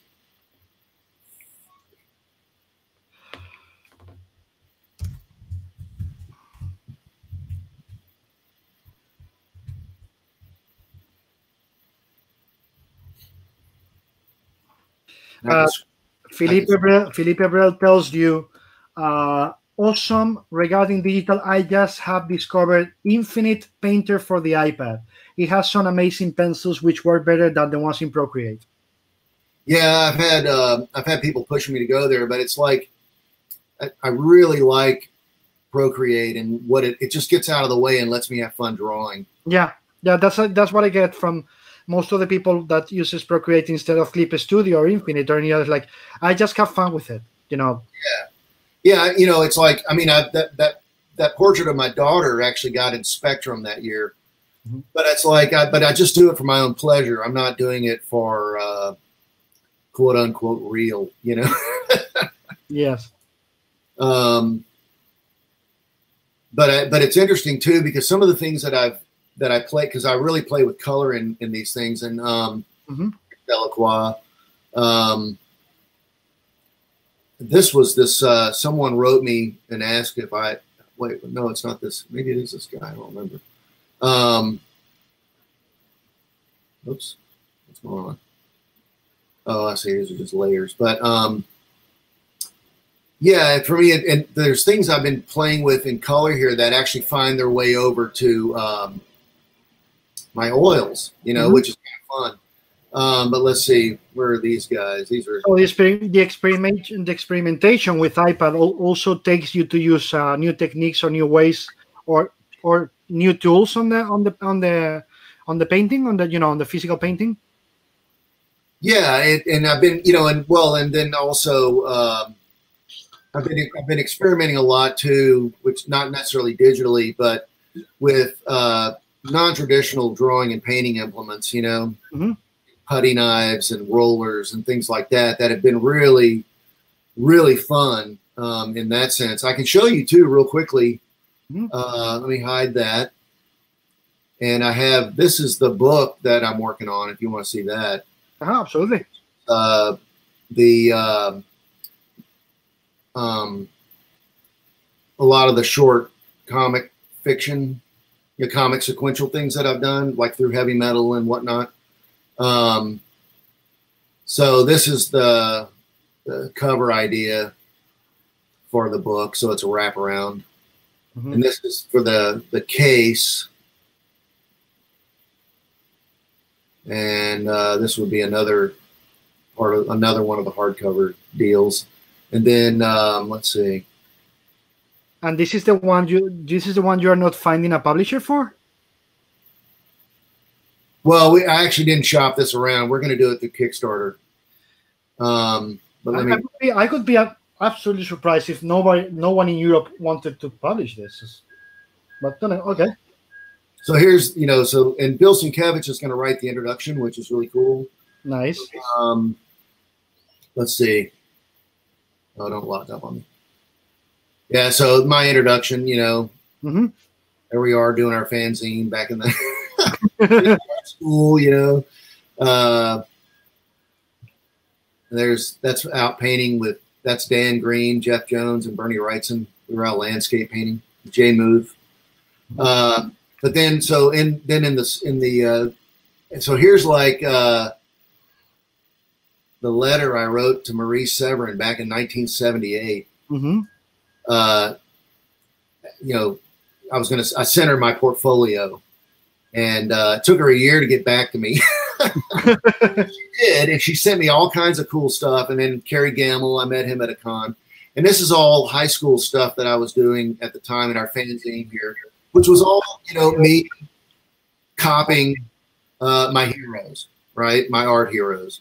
I, I learned how to draw by by copying. I didn't trace, uh, but I learned by copying. So these were all high school stuff. You know, trying to trying to learn how to draw, and um, did a lot of work. You know. Yeah. Uh, so then we, you know, you get past. So then you get into art school, and this is some of the art school comic work that I was doing, and then I became the king of the unfinished. you know, uh, but really trying to do painted comics, you know. Um, and then that was '83. Um, this was art school. This is art school, and I actually showed this to Archie Goodwin at Epic, and he liked the art, but he said, "Yeah, you got way too many headshots," you know.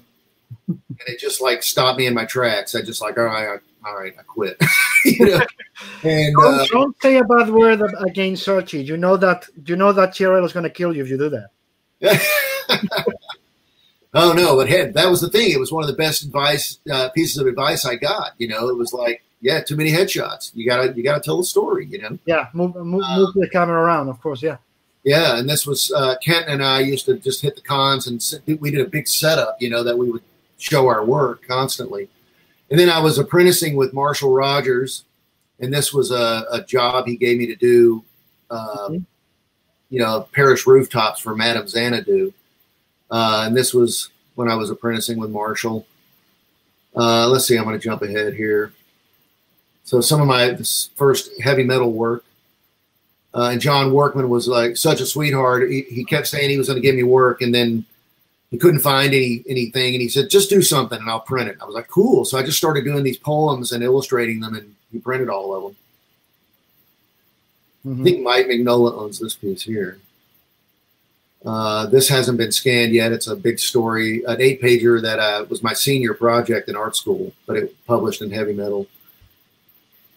Uh, let's see, let me jump down to actual stuff that got done. Hmm. uh, here's that one for for uh, Speaky. It was not was it Speak A one, uh, the British comic,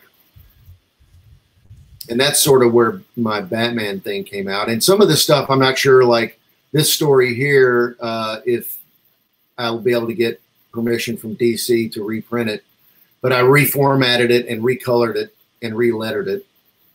Um, huh, let me move this over. Mhm. So this this was published in a Sergeant Rock summer special uh, years ago, and then this was in Weird War Tales. This story here, written by Paul Jenkins. Mhm. It's not lettered yet. Um, so again, I'm not sure if I'll actually get permission. Mhm. Uh, this one is well. This was uh, heavy metal. Um, it'll load there. And this is unpublished. Civil War story.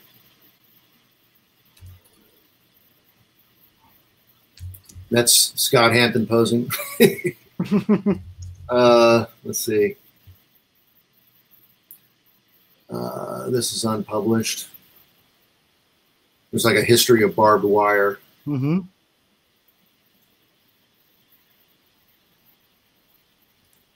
Uh, this is unpublished.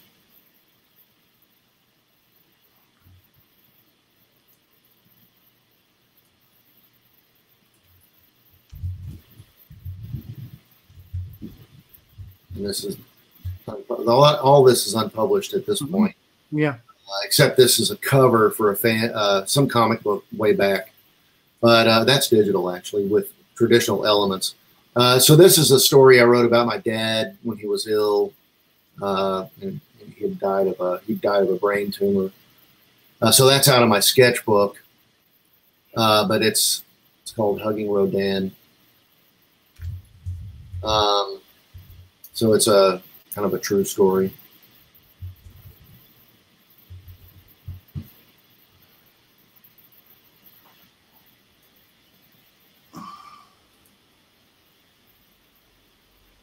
and entropy, which I'm still this one's unfinished, but it's uh I have to still scan the first one, which was published in heavy metal.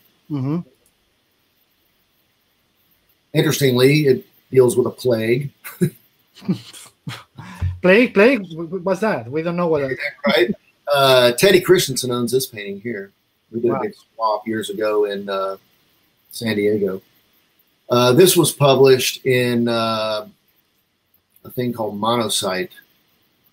And uh, I had my children, they were little at the time, and I had them do flower drawings. Mhm. That became the actual dialogue in the strip.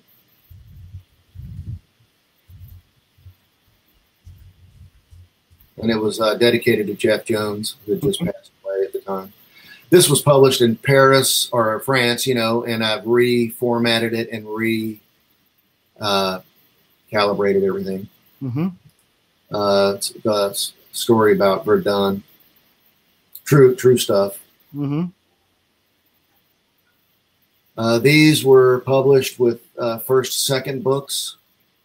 Um, this is the cover on the right, called uh, "Above the Dreamless Dead," and it's uh, my adaptation. I did three adaptations of uh, Wilfred Owen poems, Mhm. and they're all done with rollers, paint rollers. Yeah.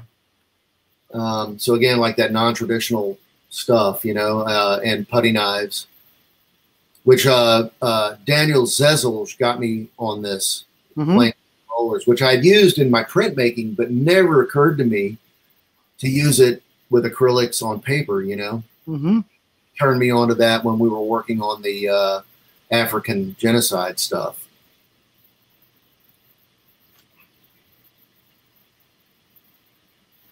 Uh, and then this African folktale that I'm, I'm actually redoing with the see this is drawn with a putty knife on big 18 by 24 sheets. Mhm. Um, whoops. Yeah. So putty knives and rollers. And again, it's they, these are it's not this is not what it looks like. It's going to have panels, you know. This is Yeah. raw, raw art at this point. And these are the layouts from way back, uh, back in the '90s. Mm-hmm. So tha- that's going to be in the book, which is kind of fun. Um, and I was going to put in, you remember this? Mm-hmm. Coming up.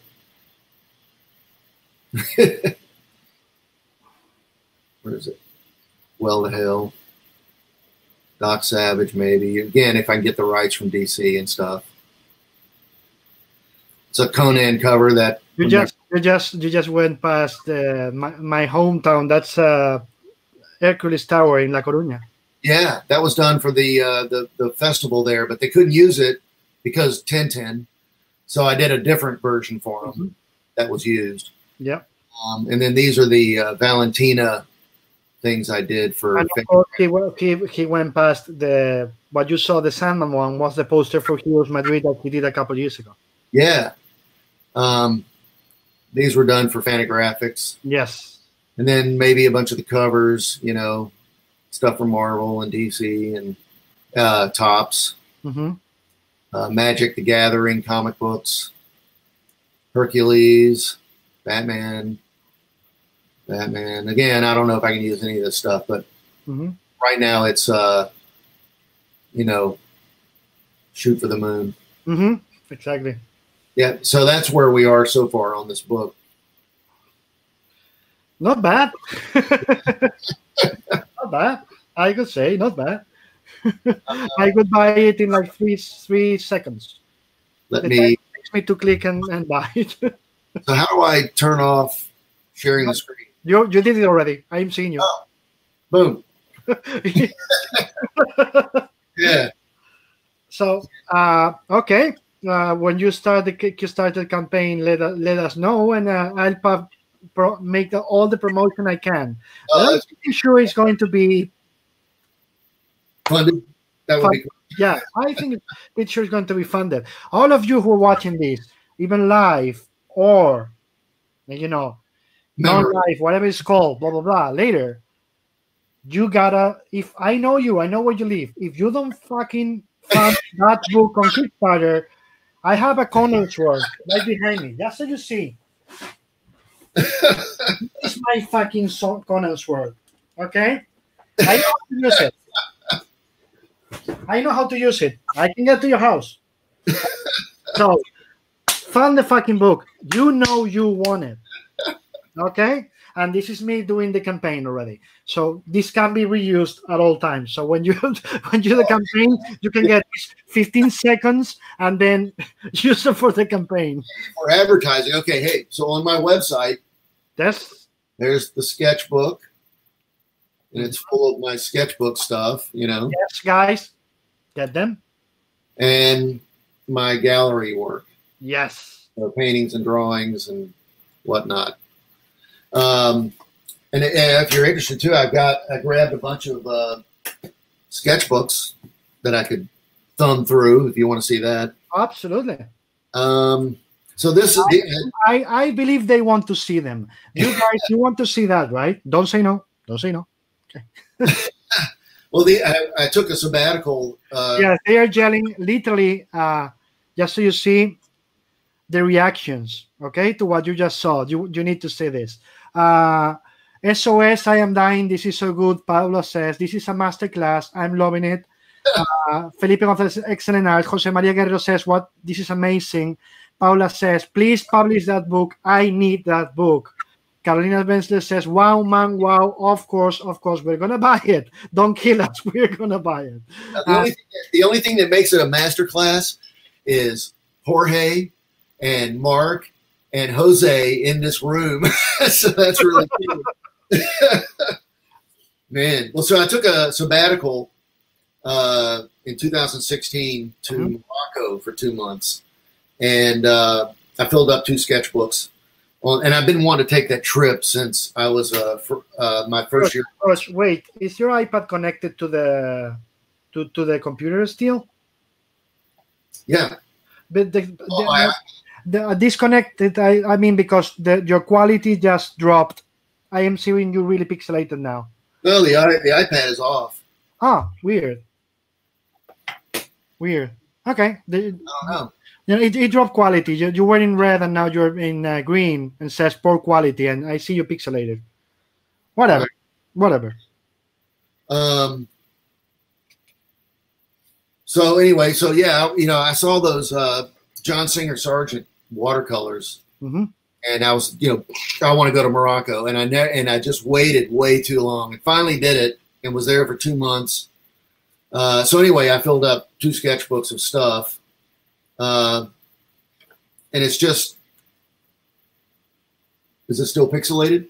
No, that's good. Okay.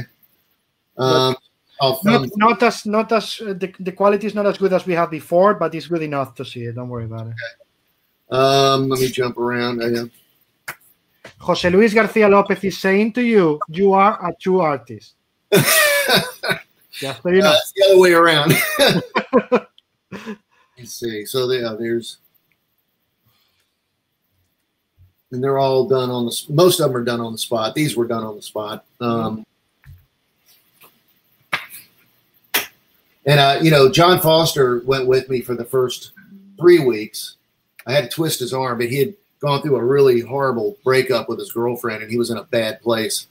And I said, "Dude, got to go on this thing with me." And he so and amazingly he went.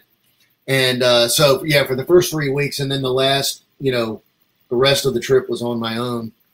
Mhm. Um,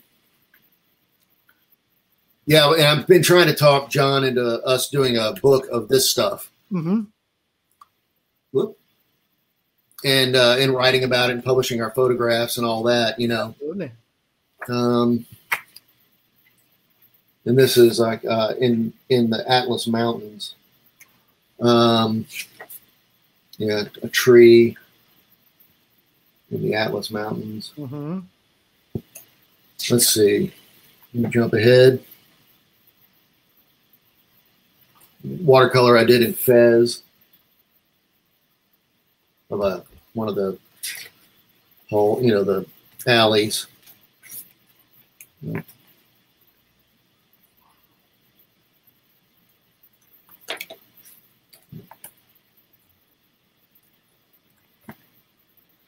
Oh yeah, Mhm. people walking in Morocco. uh, oh, this girl was after John left. I was in this riad, and this girl, 18 year old uh, Japanese girl, was traveling alone, and we uh, met her down in the in the uh, atrium, whatever, and she asked me to draw her. So that was yeah, I drew her from life. She signed it. Um,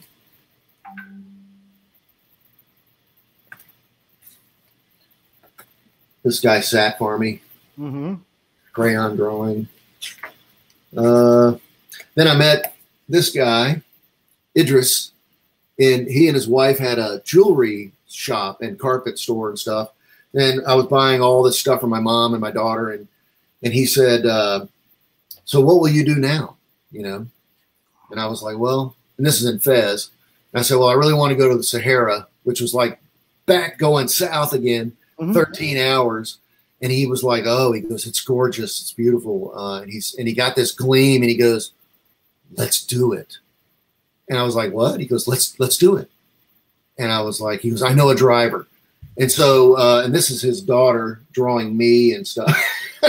Wow. and uh, so we did it. You know, uh, thirteen hour car ride with his oldest daughter, myself, and him, and this driver who couldn't speak English, and we ended up staying with these Gnawa musicians in Uh-huh. the Sierra, and uh, then we went to well, and these this is just different stuff. I mean, just people, um, and then we went to like a Bedouin camp and had uh, tea in the Sahara. You know, Mhm.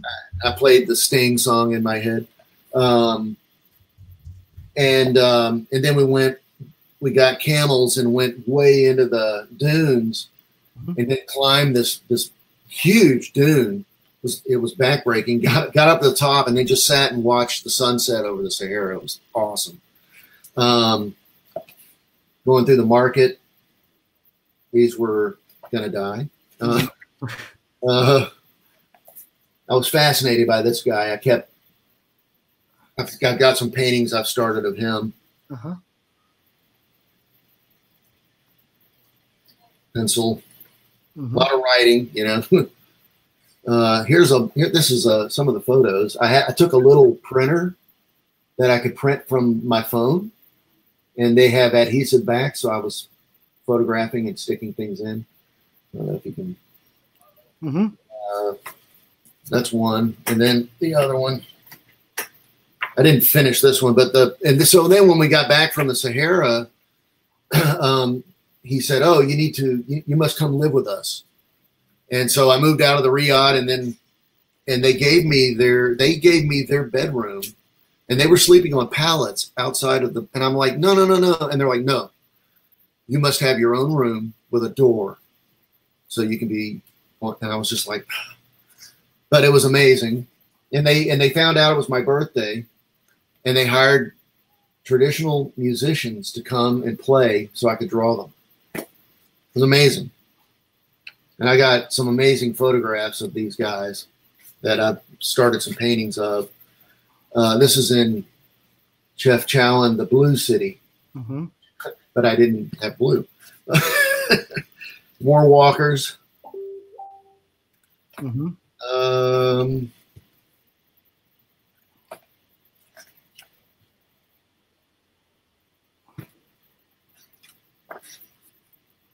crayon drawings in the Blue City. Oh, this was waiting for for the. I had I had ordered a called a car service to come pick me up and take me to Tangier Mhm. um, which was the sort of the end of my trip. Uh, except I went in the coffee shop and I was using real coffee, you know, in my coffee mugs here. Mhm.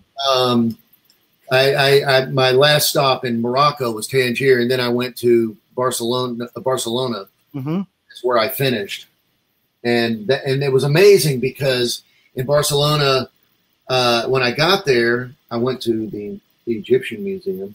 Mhm. Uh, but I got this email, a, a text message from um, Leonardo. Um, oh, I can't believe I can't think of his last name.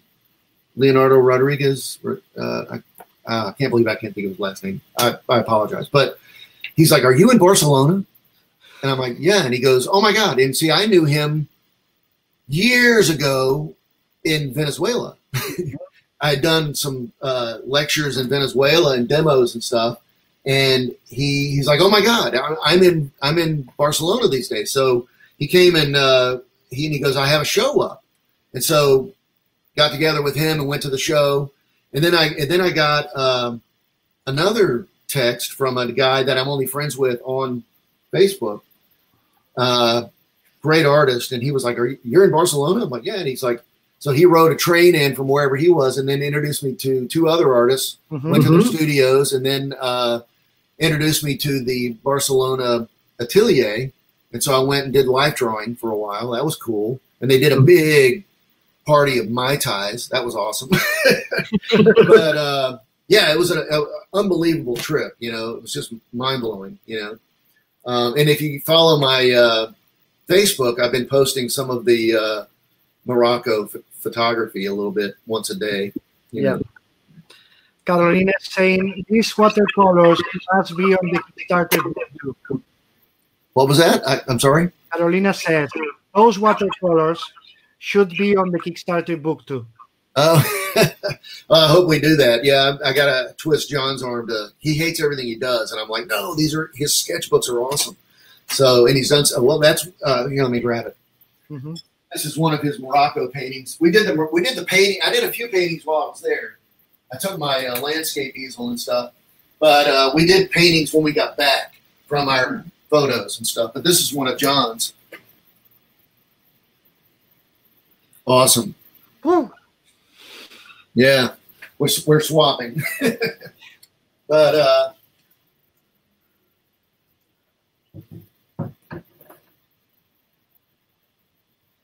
so yeah, you know, so hopefully we'll we'll do a car, carnet du voyage, whatever. yeah. Yeah, th- th- those uh, those oh that could be amazing. You know, like a traveling traveling book by you guys. That could be amazing. yeah. Um, just so you know, uh, we've been at this for uh, it's now four minutes to two hours, Yeah. and you have a life.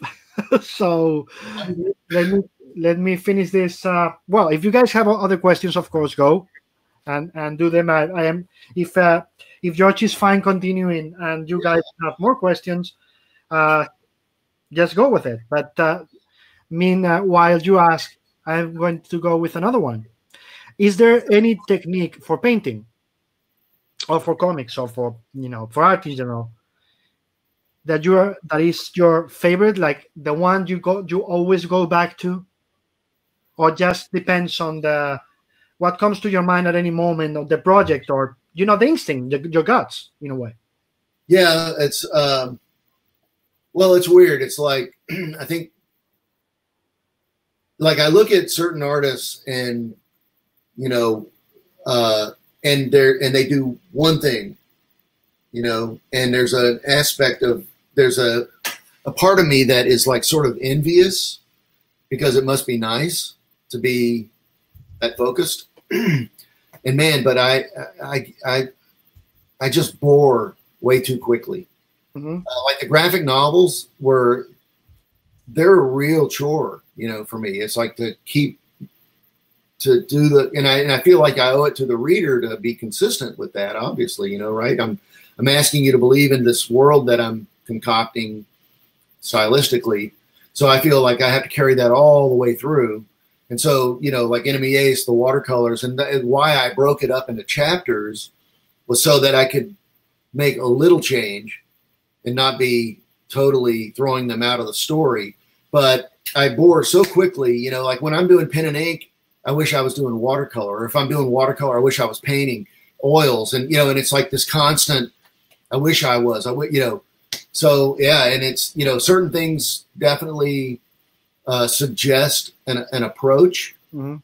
you know, and then other things uh, suggest a different approach. Like I did a cover not too long ago for uh, uh, Michael Gaydos and Brian Bendis for uh, Pearl, and man, I it's like that thing just about broke me. I I I, just didn't know how to approach it, you know, and I so I started it as uh, a pastel, and uh, it felt right, and I kept the more I did on it, I was just like, no, I'm not feeling it, and then oh, let me do let me do a pen and ink and splatter and whatever. And I did that, and I'm like, yeah, I'm not feeling it. And then and I ended up just defaulting to uh, this kind of thing in my sketchbooks. Let's see, where it's uh, a scribble Mhm. technique, you know, that I do in my sketchbooks a lot, and uh, and that felt right, and that's how I finished it, you know.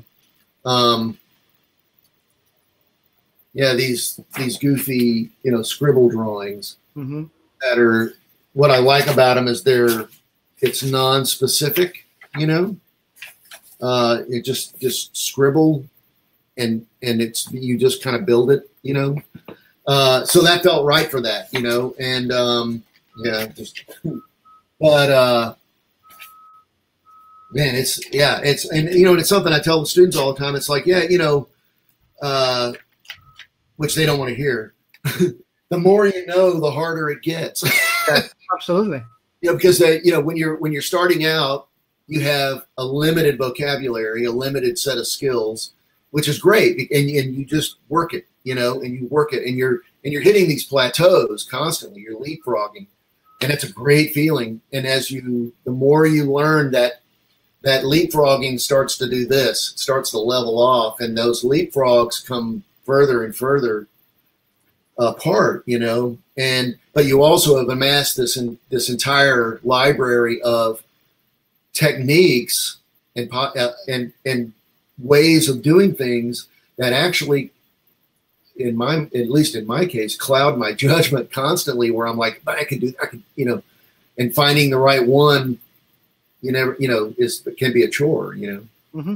Well, in, in a way, as you just said, the more you learn, the the, the most diffi- the more difficult it is because you have more techniques, you have more tools, and of course, as an artist, boom, bada boom, bada boom, bada boom, bada boom, bada boom, bada boom, boom. Yeah I can do it this way. When you start is one, two, three ways. When you have a long career, it's fucking fifty ways. yeah it, it's never ending you know and and that's the thing that i that i got from teaching with the illustration academy you know is that what was so refreshing had mark english and those guys i was Gary Kelley and these guys they're never satisfied Mhm. They're constantly a student you know and open to anything new you know and constantly searching for inspiration from other artists which was that was like yes you know like that was great they weren't just resting on their laurels and doing the thing they do you know it was really cool hmm And Carolina, see, the, you guys, you artists, you know, as Bill told me the other day when she was making questions, it takes one to know one. What's the technique you hate the most? I, I don't Ah. i don't have one yeah no i, I love it all like, but the only time you hate is when it's not working right you know it's like, Absolutely. this you know and then so you put it aside and you do something else you know Felipe Brel is saying, what about, I'm not sure if I know what he's talking about, but I'm sure you will know, George. What about some Flashman artwork? what is it I know. Flashman? flashman Yeah. character Uh, clarify, please, Philip. We're a little lost. The Uh, one Frazetta did probably.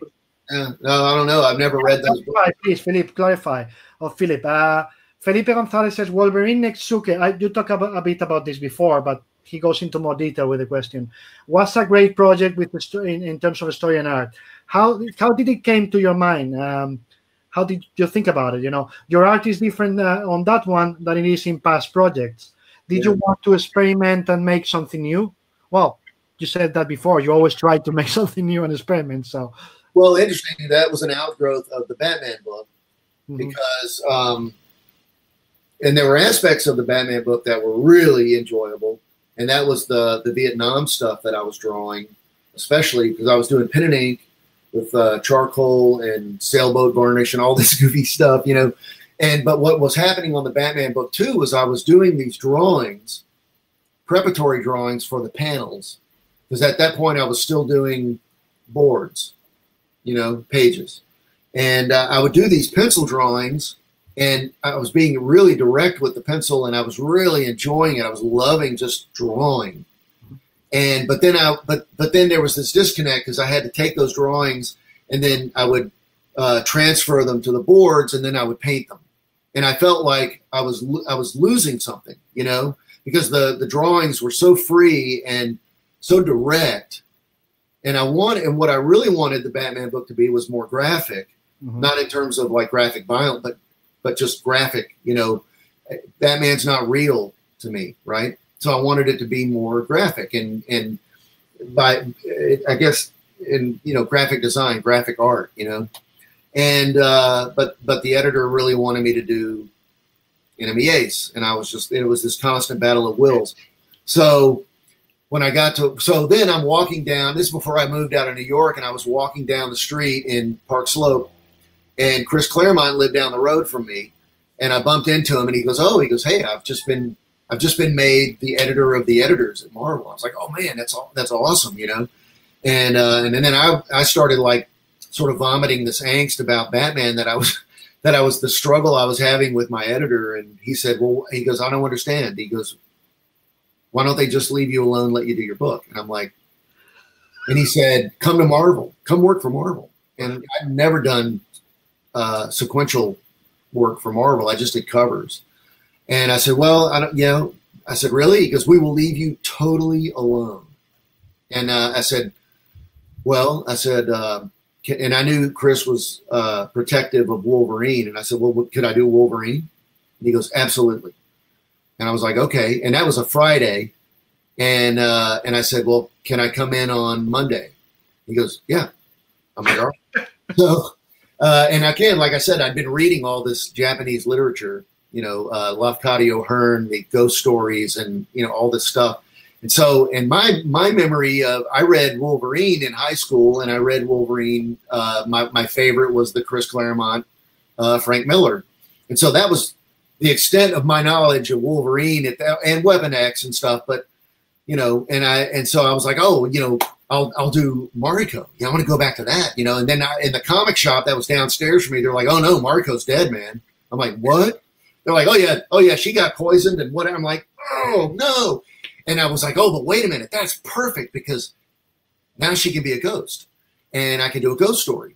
Boom. So, uh, so I took in a proposal that I was going to take him back to feudal. He goes to the ancestral home, and then he gets flipped into feudal Japan and and Chris was like, "Yeah, let's do it." You know, and I'm like, "Well, I got two more years on Batman." And he says, "Well, that's okay. We're gonna, you know, we'll do it." I'm like, "All right." And so, but we didn't draw up contracts. But I had a, you know, a handshake deal and all that. And then uh, I moved out of New York. I got married, had a kid. I was in North Carolina, and uh, I was I just finished Batman, and I was called Chris. he goes, "Well, I got bad news." I'm like, "What?" He goes, "I just got laid off. Uh, I'm not with. I'm not that anymore." And he goes, "But you're in good hands. I've handed it to Joe Quesada, and everything's golden. He's going to baby it through." And then that with them, then I I haggled with uh, Joe over the contracts and stuff. So. So in Wolverine, it was I went straight with a pen on loose sheets of paper, mm-hmm. straight with a pen, and if it messed up, it's like, fine. I mean, how much time do I lose? I'll do another one, you know, straight with a pen. Then I did watercolor on top of that. And these are just in Canson drawing pads, you know. And then I did charcoal for, for value. Uh, so I could work with local color and then turn form with charcoal and not have to get as involved like I did with Enemy Ace. I could just, and man, it was such a joy. I just enjoyed drawing again. And then I would scan those and then put the pages together based on my layouts you know, in Photoshop making pages, you know, and that was liberating because it was it because I took I was scanning everything at 100 percent, bringing it in and putting it in this small format. They were huge, and I was seeing my work in a way almost dispassionately, like an editor would see it, and so I would like, oh man, I was seeing things that I would that I didn't come up with in my layouts, and I would, I would I would go with it, you know. So it was like getting to be it was almost like being a film editor you know? Uh, taking someone else's stuff and then chopping it and playing with it. And that was really cool. And marvel did. They i, I didn't have to show any layouts i didn't have to show any sketches except for covers mm-hmm. uh, everything they just i just got to do it and i packaged the entire book i mean i did all the writing all the lettering all the production, and I sent them DVDs that went straight to the printer. Mhm. So was like a, it was like man, it was such an enjoyable experience. Um, yeah, it was, it was fantastic. You know. That's that's amazing. Uh, oh, Felipe Brel uh, uh, clarifies the Flashman thing he said before. He says Sir Harry Flashman novels, an anti-hero going through Victorian history. Yeah, I've never read them, but I know the Frazetta paintings Mhm. from the covers. Yeah, but yeah, it would. I, I should read one and see what it's see what it's all about. I, I really love uh, the Bernard Cornwell um, Sharpe's series, Sharpe's rifles and all that. I've got totally buried in that. But also, I I picked those up because of the covers because they had Herb Tauss covers, Mhm. and that that see that made me read those. You know, and so yeah, Frazetta could do that for me, and I'll I'll have to pick one up. Yeah. Uh, Felipe Gonzalez says, uh, when I look at your art, I see so many artists that followed have followed your path, you know, in their work, but also diverge in different ways, in different directions, such as Kent Williams, Ashley Wood, John J. Muth, and others. Well, they they we were all together. Uh, that's yeah. They weren't following me. We were we all came up together. Mark was there. Uh, we, you know, Kent, Mark Chiarello, John Van Fleet, Dan Clowes was my roommate at Pratt. Um, Peter Kuper. Um, who else? Mark. you know, uh, Scott Hanna you know, and then Mignola starting at the same time. So was Jay Muth, uh, Scott Hampton. Scott actually started before, you know, he, he was a, he was a little older. Um, but yeah, but roughly we were all beginning at that same time. I remember meeting Mike uh, Oh, uh, at his first New York con, you know, and uh, swapping artwork and everybody just being jazzed that we were all trying this stuff, you know.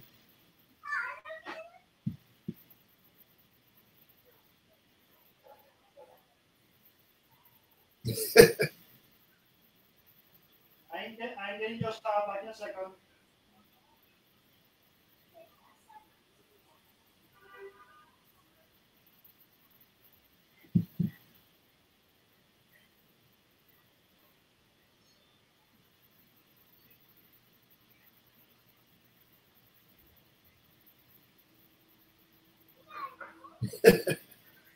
Well, I can show you all more sketchbook stuff while he's doing that. Let's see.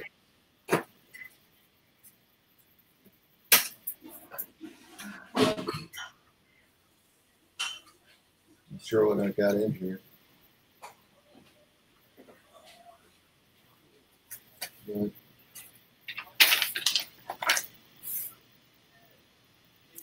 Let's see.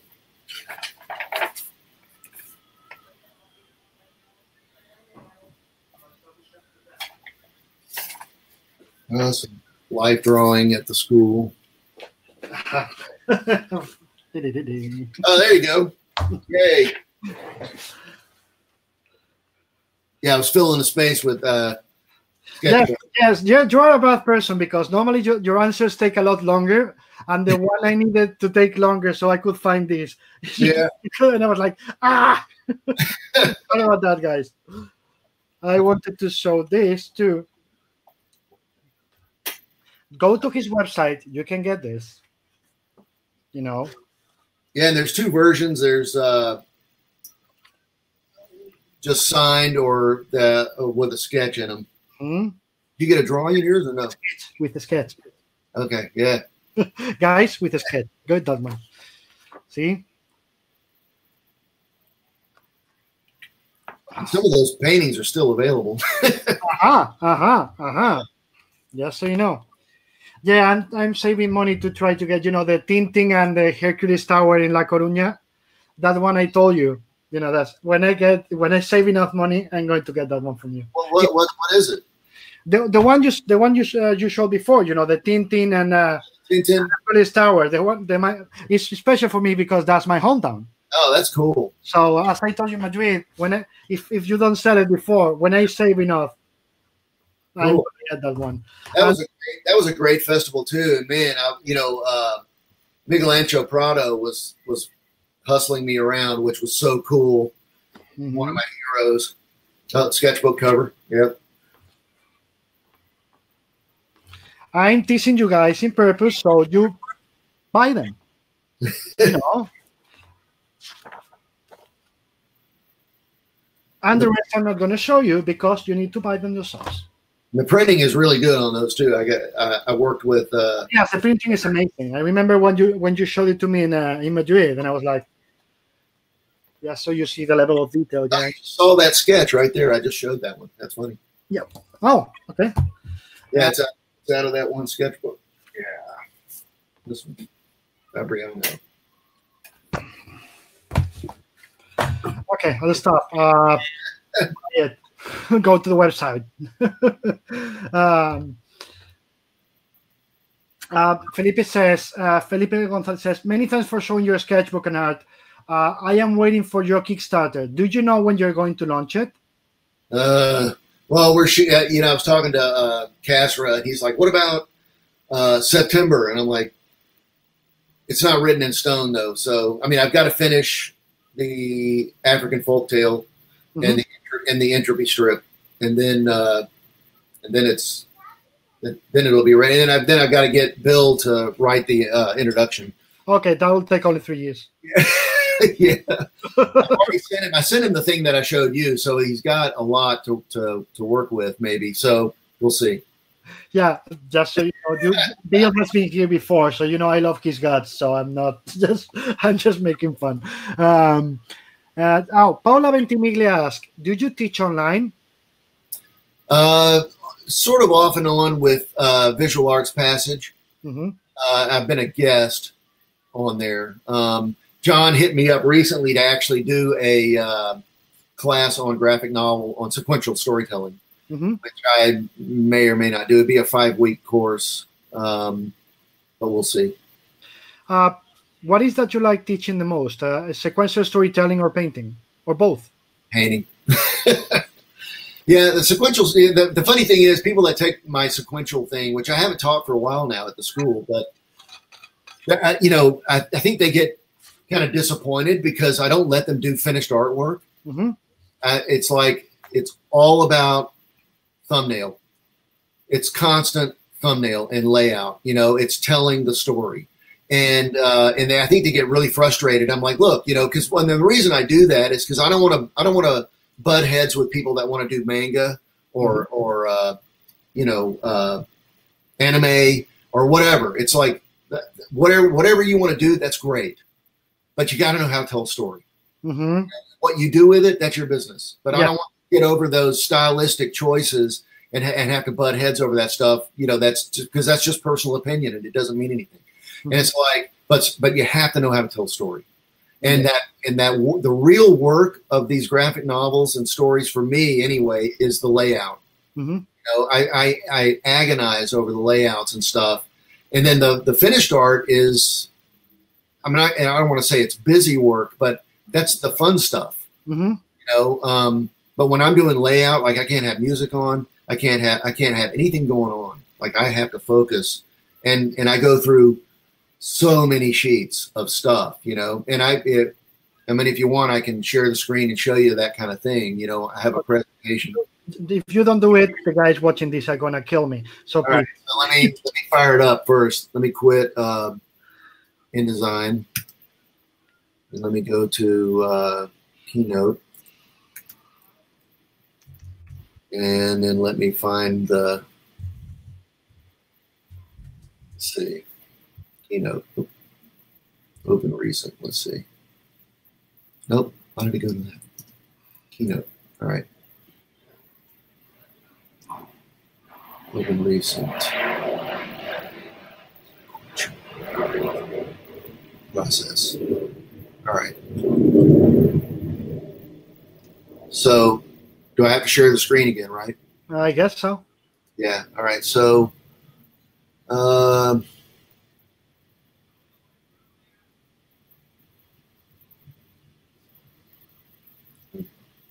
All right, so like I can show. All right, so now let's see, share screen. Okay. Window or screen. Screen. Allow. Oh. Huh. All right, so let's see. Process. Okay. Allow. Okay. So if I hit play, does that show up? Uh, layouts, yeah, it's the screen saying layouts, so I'm seeing it. So this is uh, enemy ace. So there's the original Kubert, one of the gods. the stuff I grew up with. And so um, this shows like layout stuff. I only see, I'm only seeing a screen saying layouts. Really? Okay, hang on. It's not, it's not changing. I don't know why. Yes, now it changed. Enemy ace war Idyll.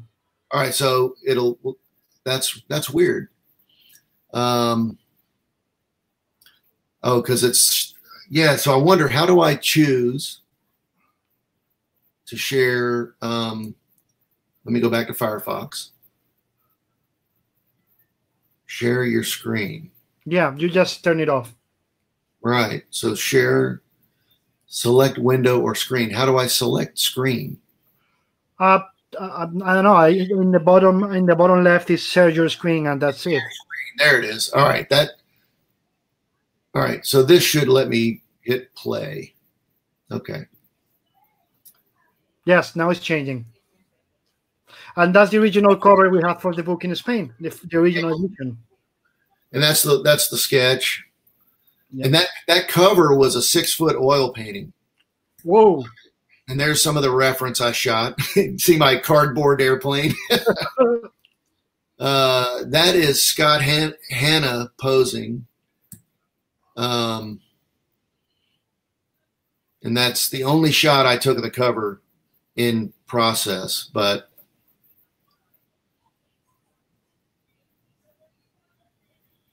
is is uh is Mark still online? Mark, Mark, let me try to tag him.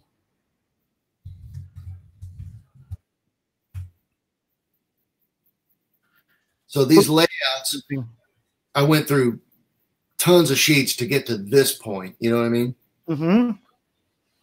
But I wanted to ask Mark because uh, I've got uh, photos in here of my reference and whether he wants me to show that or not because he's in them. He's in the book, I know. Yeah, but and But you the- are and you are in Batman Houdini, if I don't remember it wrong. yeah, but if it's okay to show the photos, you know. Okay, let me see if if she if he answers. I tagged him on Facebook, so uh, Carolina is saying, "I want to marry these paintings." That's uh, Herb Trimpe uh, and his uh, biplane, and he took me up in the Catskill Mountains so I could see what it was actually like in the old uh, fighter planes. That was awesome. hmm And these are the models I built. That's John Van Fleet. Uh, he was my enemy ace. hmm Have you heard from Mark? No, not yet. I tag him, so if he's uh, if he's watching, he'll see it, but no answer yet. So careful. yeah. And that is, uh, oh, I can't believe I can't think of his name. He was a letterer, and Marvel played that character. No John Workman, right? No. Uh, and normally I know his name, and I can't. bel- Jack. He, you'll remember. It'll come back. Yeah, it's Jack. Uh, Jack something. Mhm. Oh, let me check something here real quick.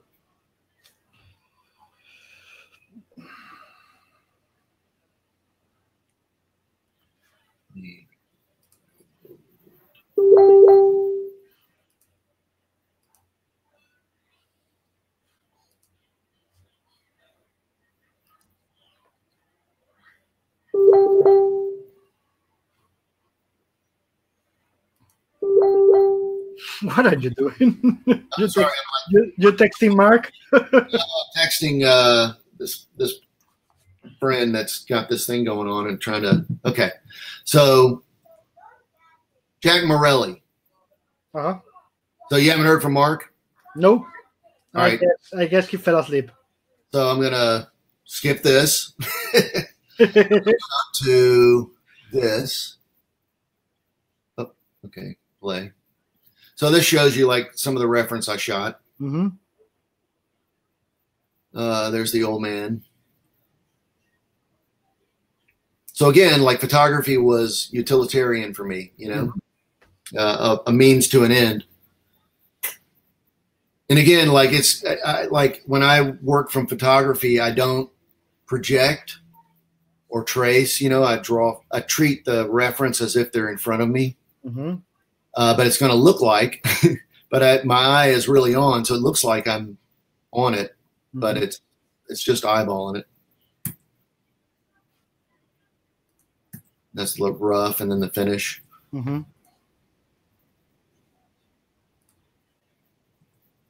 So let me go to uh, layout stuff more. So I have the Batman layouts here.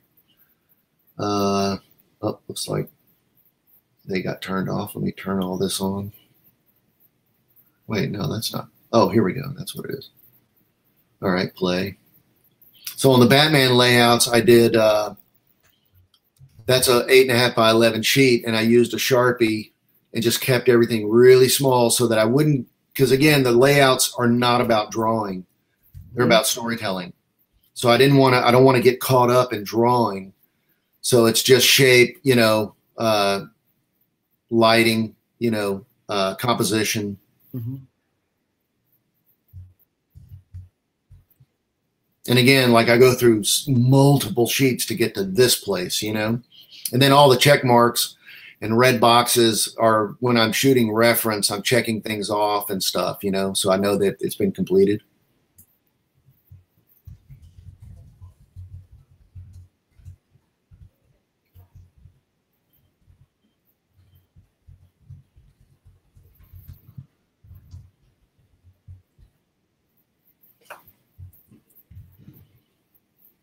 And let's see, jump through here. So there's and see the cover I got they, they had a cross on it. They took it out. Mm-hmm. Supposed to be a church. Um, so some of the finished art.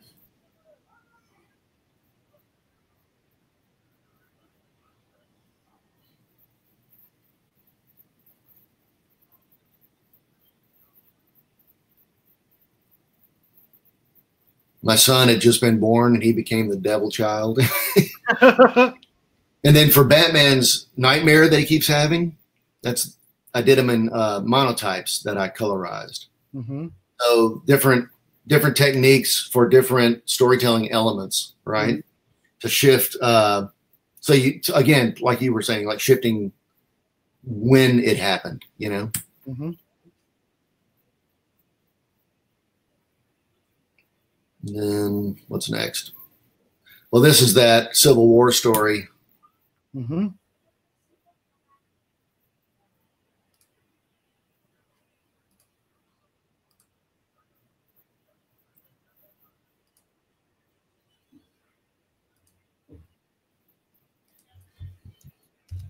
and even then you can see like things shift a little bit from uh, what I laid out sometimes.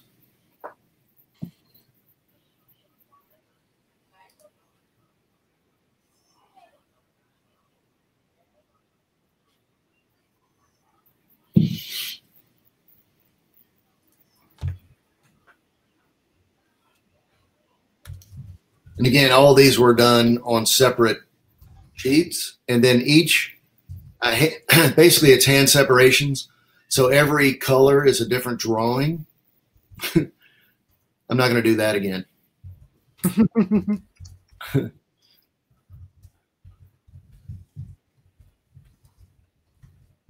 And then this is my script, which I write. I don't break it up in pages. I just write the whole thing, Mhm. and then I go through on a print and just gut reaction to what I feel are the story beats and uh, you know pages. And even then, I don't I don't break that up into panels. It's like just pages, and then I figure the panels out when I'm doing my layouts. Mhm. And like, let me jump out of here because that shows like sort of all the some of the crud I went through just to get to those finishes. These are just like starts and things, you know. So here's uh, let's see, covers. So Action Weekly, the finish. Doc Savage. The Doc Savage cover is uh, I forget what the name of that is. There's a there's a group on uh, online that's comic original art collectors, and uh, Kasra just put this cover up for sale on there for me. Animal Man, and these were the like I would go into DC. This is back when you could just go into DC, and I would go knocking on doors hmm of different editors and say, "Hey, do you need covers?" And they were like, "What do you got?" And I would run to the I would run to the copy machine and grab a bunch of paper out of it and sit down and do sketches and then take them in and show them to the editor. What about this? What about this? And I would go home with work, you know. hmm So that's what how these worked. Uh, and then here's uh, Netsuke layouts. hmm So again, these were done just for me. The cover layouts I had to send in, but the storytelling was just for me. They never looked at any of that. Mhm. So trying to come up with the best way to start it, and uh, I ended up choosing, if you remember, the long shot, which was more of an establishing shot, showing the ancestral home of Mariko, Mhm. and that was like that's where it's all going to happen, right? Instead of like right at the door. hmm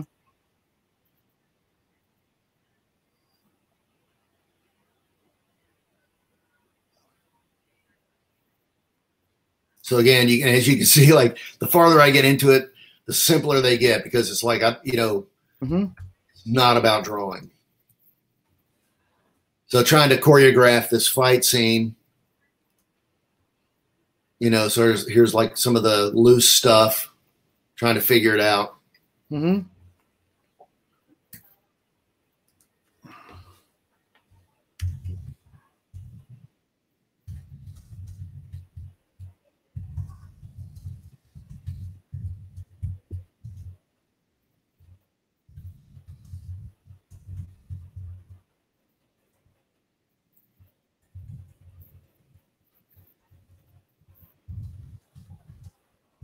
Yeah. So here, like, uh, you know, like instead of that whole shot, I was going to zoom in on the nose. hmm and uh, I really got into hands and doing the whole tea service, tea ceremony. Mhm.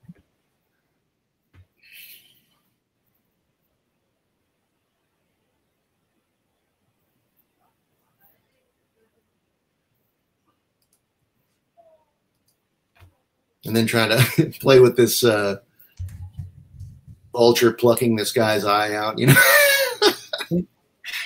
oh man. Yeah, so here's a great layout, right? There's this this thing, horses and riders riding hard. Not even gonna sketch it. And then that's the whole first issue of that, you know. And then these are cover roughs. There's the first cover.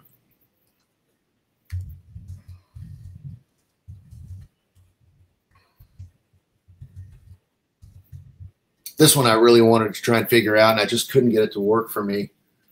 Where she riding riding him kind of, and her her hands had eyes on them, and it was like he was looking through her her eyes, you know. mm-hmm. And so it ended up being this.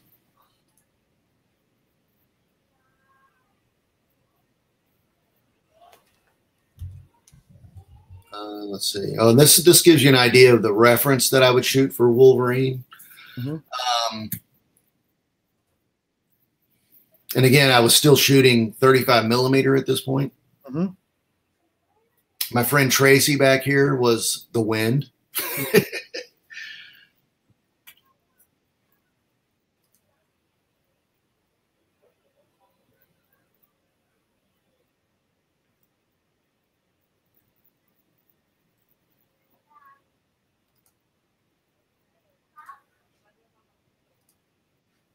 none of these people are professional models. They're they're people that, that I found on the street. Basically, the the the Asian Wolverine was uh, a barista hmm at one of the coffee shops I went to, and he agreed to to be Wolverine. Um, she, Mariko, was the girl that my wife and I were in Wendy's, hmm our son, and she came in with a baseball cap and she was covered in paint. And my wife and I looked at each other and I was like, "Oh my god!" She was like, "Mariko." I'm like, "Yes." Ran out and hit her up, you know, and she was like, "Oh man, I'd love to do that." So this gives you an idea. There's a layout, and then this is the art on separate sheets of paper, and then they make a page. hmm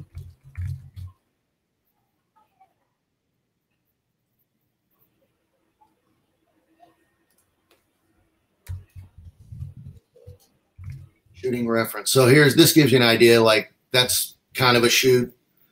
More of it zooming in. This is uh, Scott Hampton posing for the Civil War story. Mhm.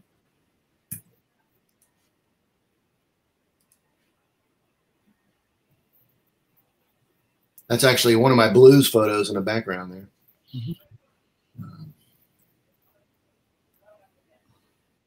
Peanuts become bullets.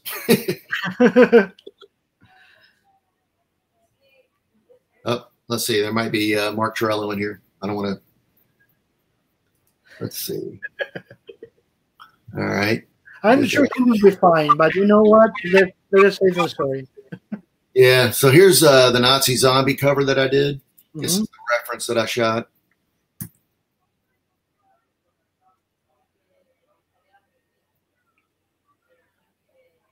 That's a Procreate drawing. Mhm. Whoa. Oh, there's that painting, and that's the reference that I used. Yes.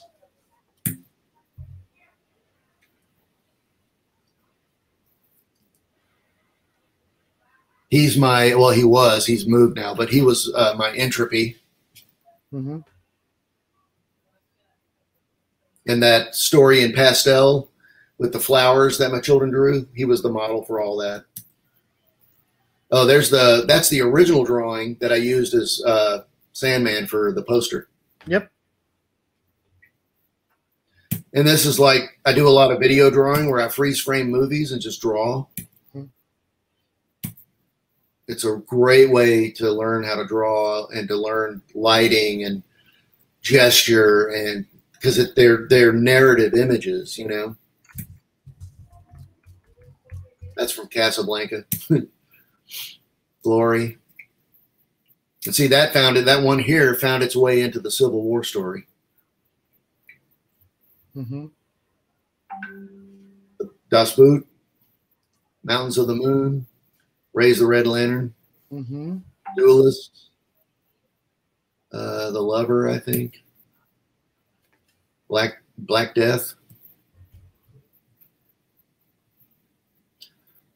uh, Cold Cold Mountain.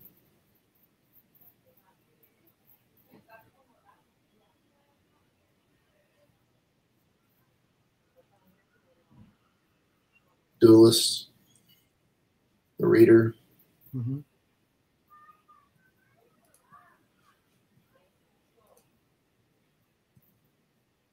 Name of the Rose, Sauna,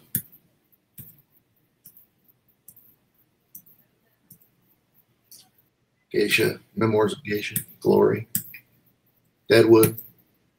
Oh, these were student drawings. hmm We, I have them do this in class.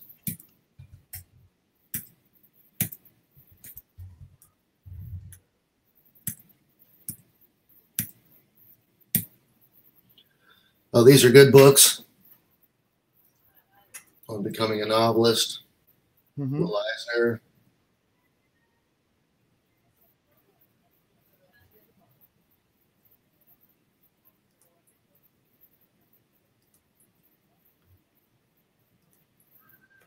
Mark Chiarello, Yes. Maus, Joe Kubert, hmm Marvel, Studio Space.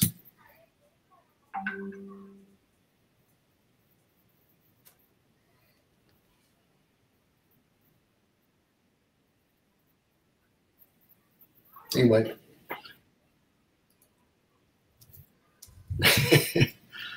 so then do I do I hit stop? There we go. That was amazing. and the people watching is like in I, I think they're in shock already still that about how much you shot and I'm loving it. Anyway, it's been three hours already. and I have a daughter and a wife, especially. You know, my wife is probably going to kill me if I don't go back to them. Uh, but if, Well, you guys, so if, you, for inviting me. if you guys if you guys liked it and if you have liked it, George, we can repeat this. Uh, I I could absolutely love it. Um, Yeah. it's been so good. So please don't. We so guys, we're leaving. I know you would want it to continue forever, but let's go back to our lives. Um, Well, Jose and uh, I'm drawing a blank. Gerardo, right? Can't believe I can't think of the right. Thank you so much for coming to visit. thank Yeah. you all for being here. Have a nice weekend, you all. George, thank you so much. Please don't cut because I want to say proper goodbye to you after you know we cut the the live feed. Um, but thank you, thank you for being here. I hope you enjoyed it, which is the most important thing. Blast. Yeah, it was great. And to all of you, have a really nice weekend. We'll be back on Monday with uh, the amazing Mark Brooks. Wear your fucking mask. Stay safe. Yeah. Not only that, keep everybody else safe. In Spanish, poneos la puta máscara. No solo protegéis a los demás, os protegéis a vosotros mismos, pero sobre todo a los demás. Be careful, stay safe, have a nice weekend, and again, wear the fucking mask. Be safe. Nice weekend to all of you. We're off in three, two, one.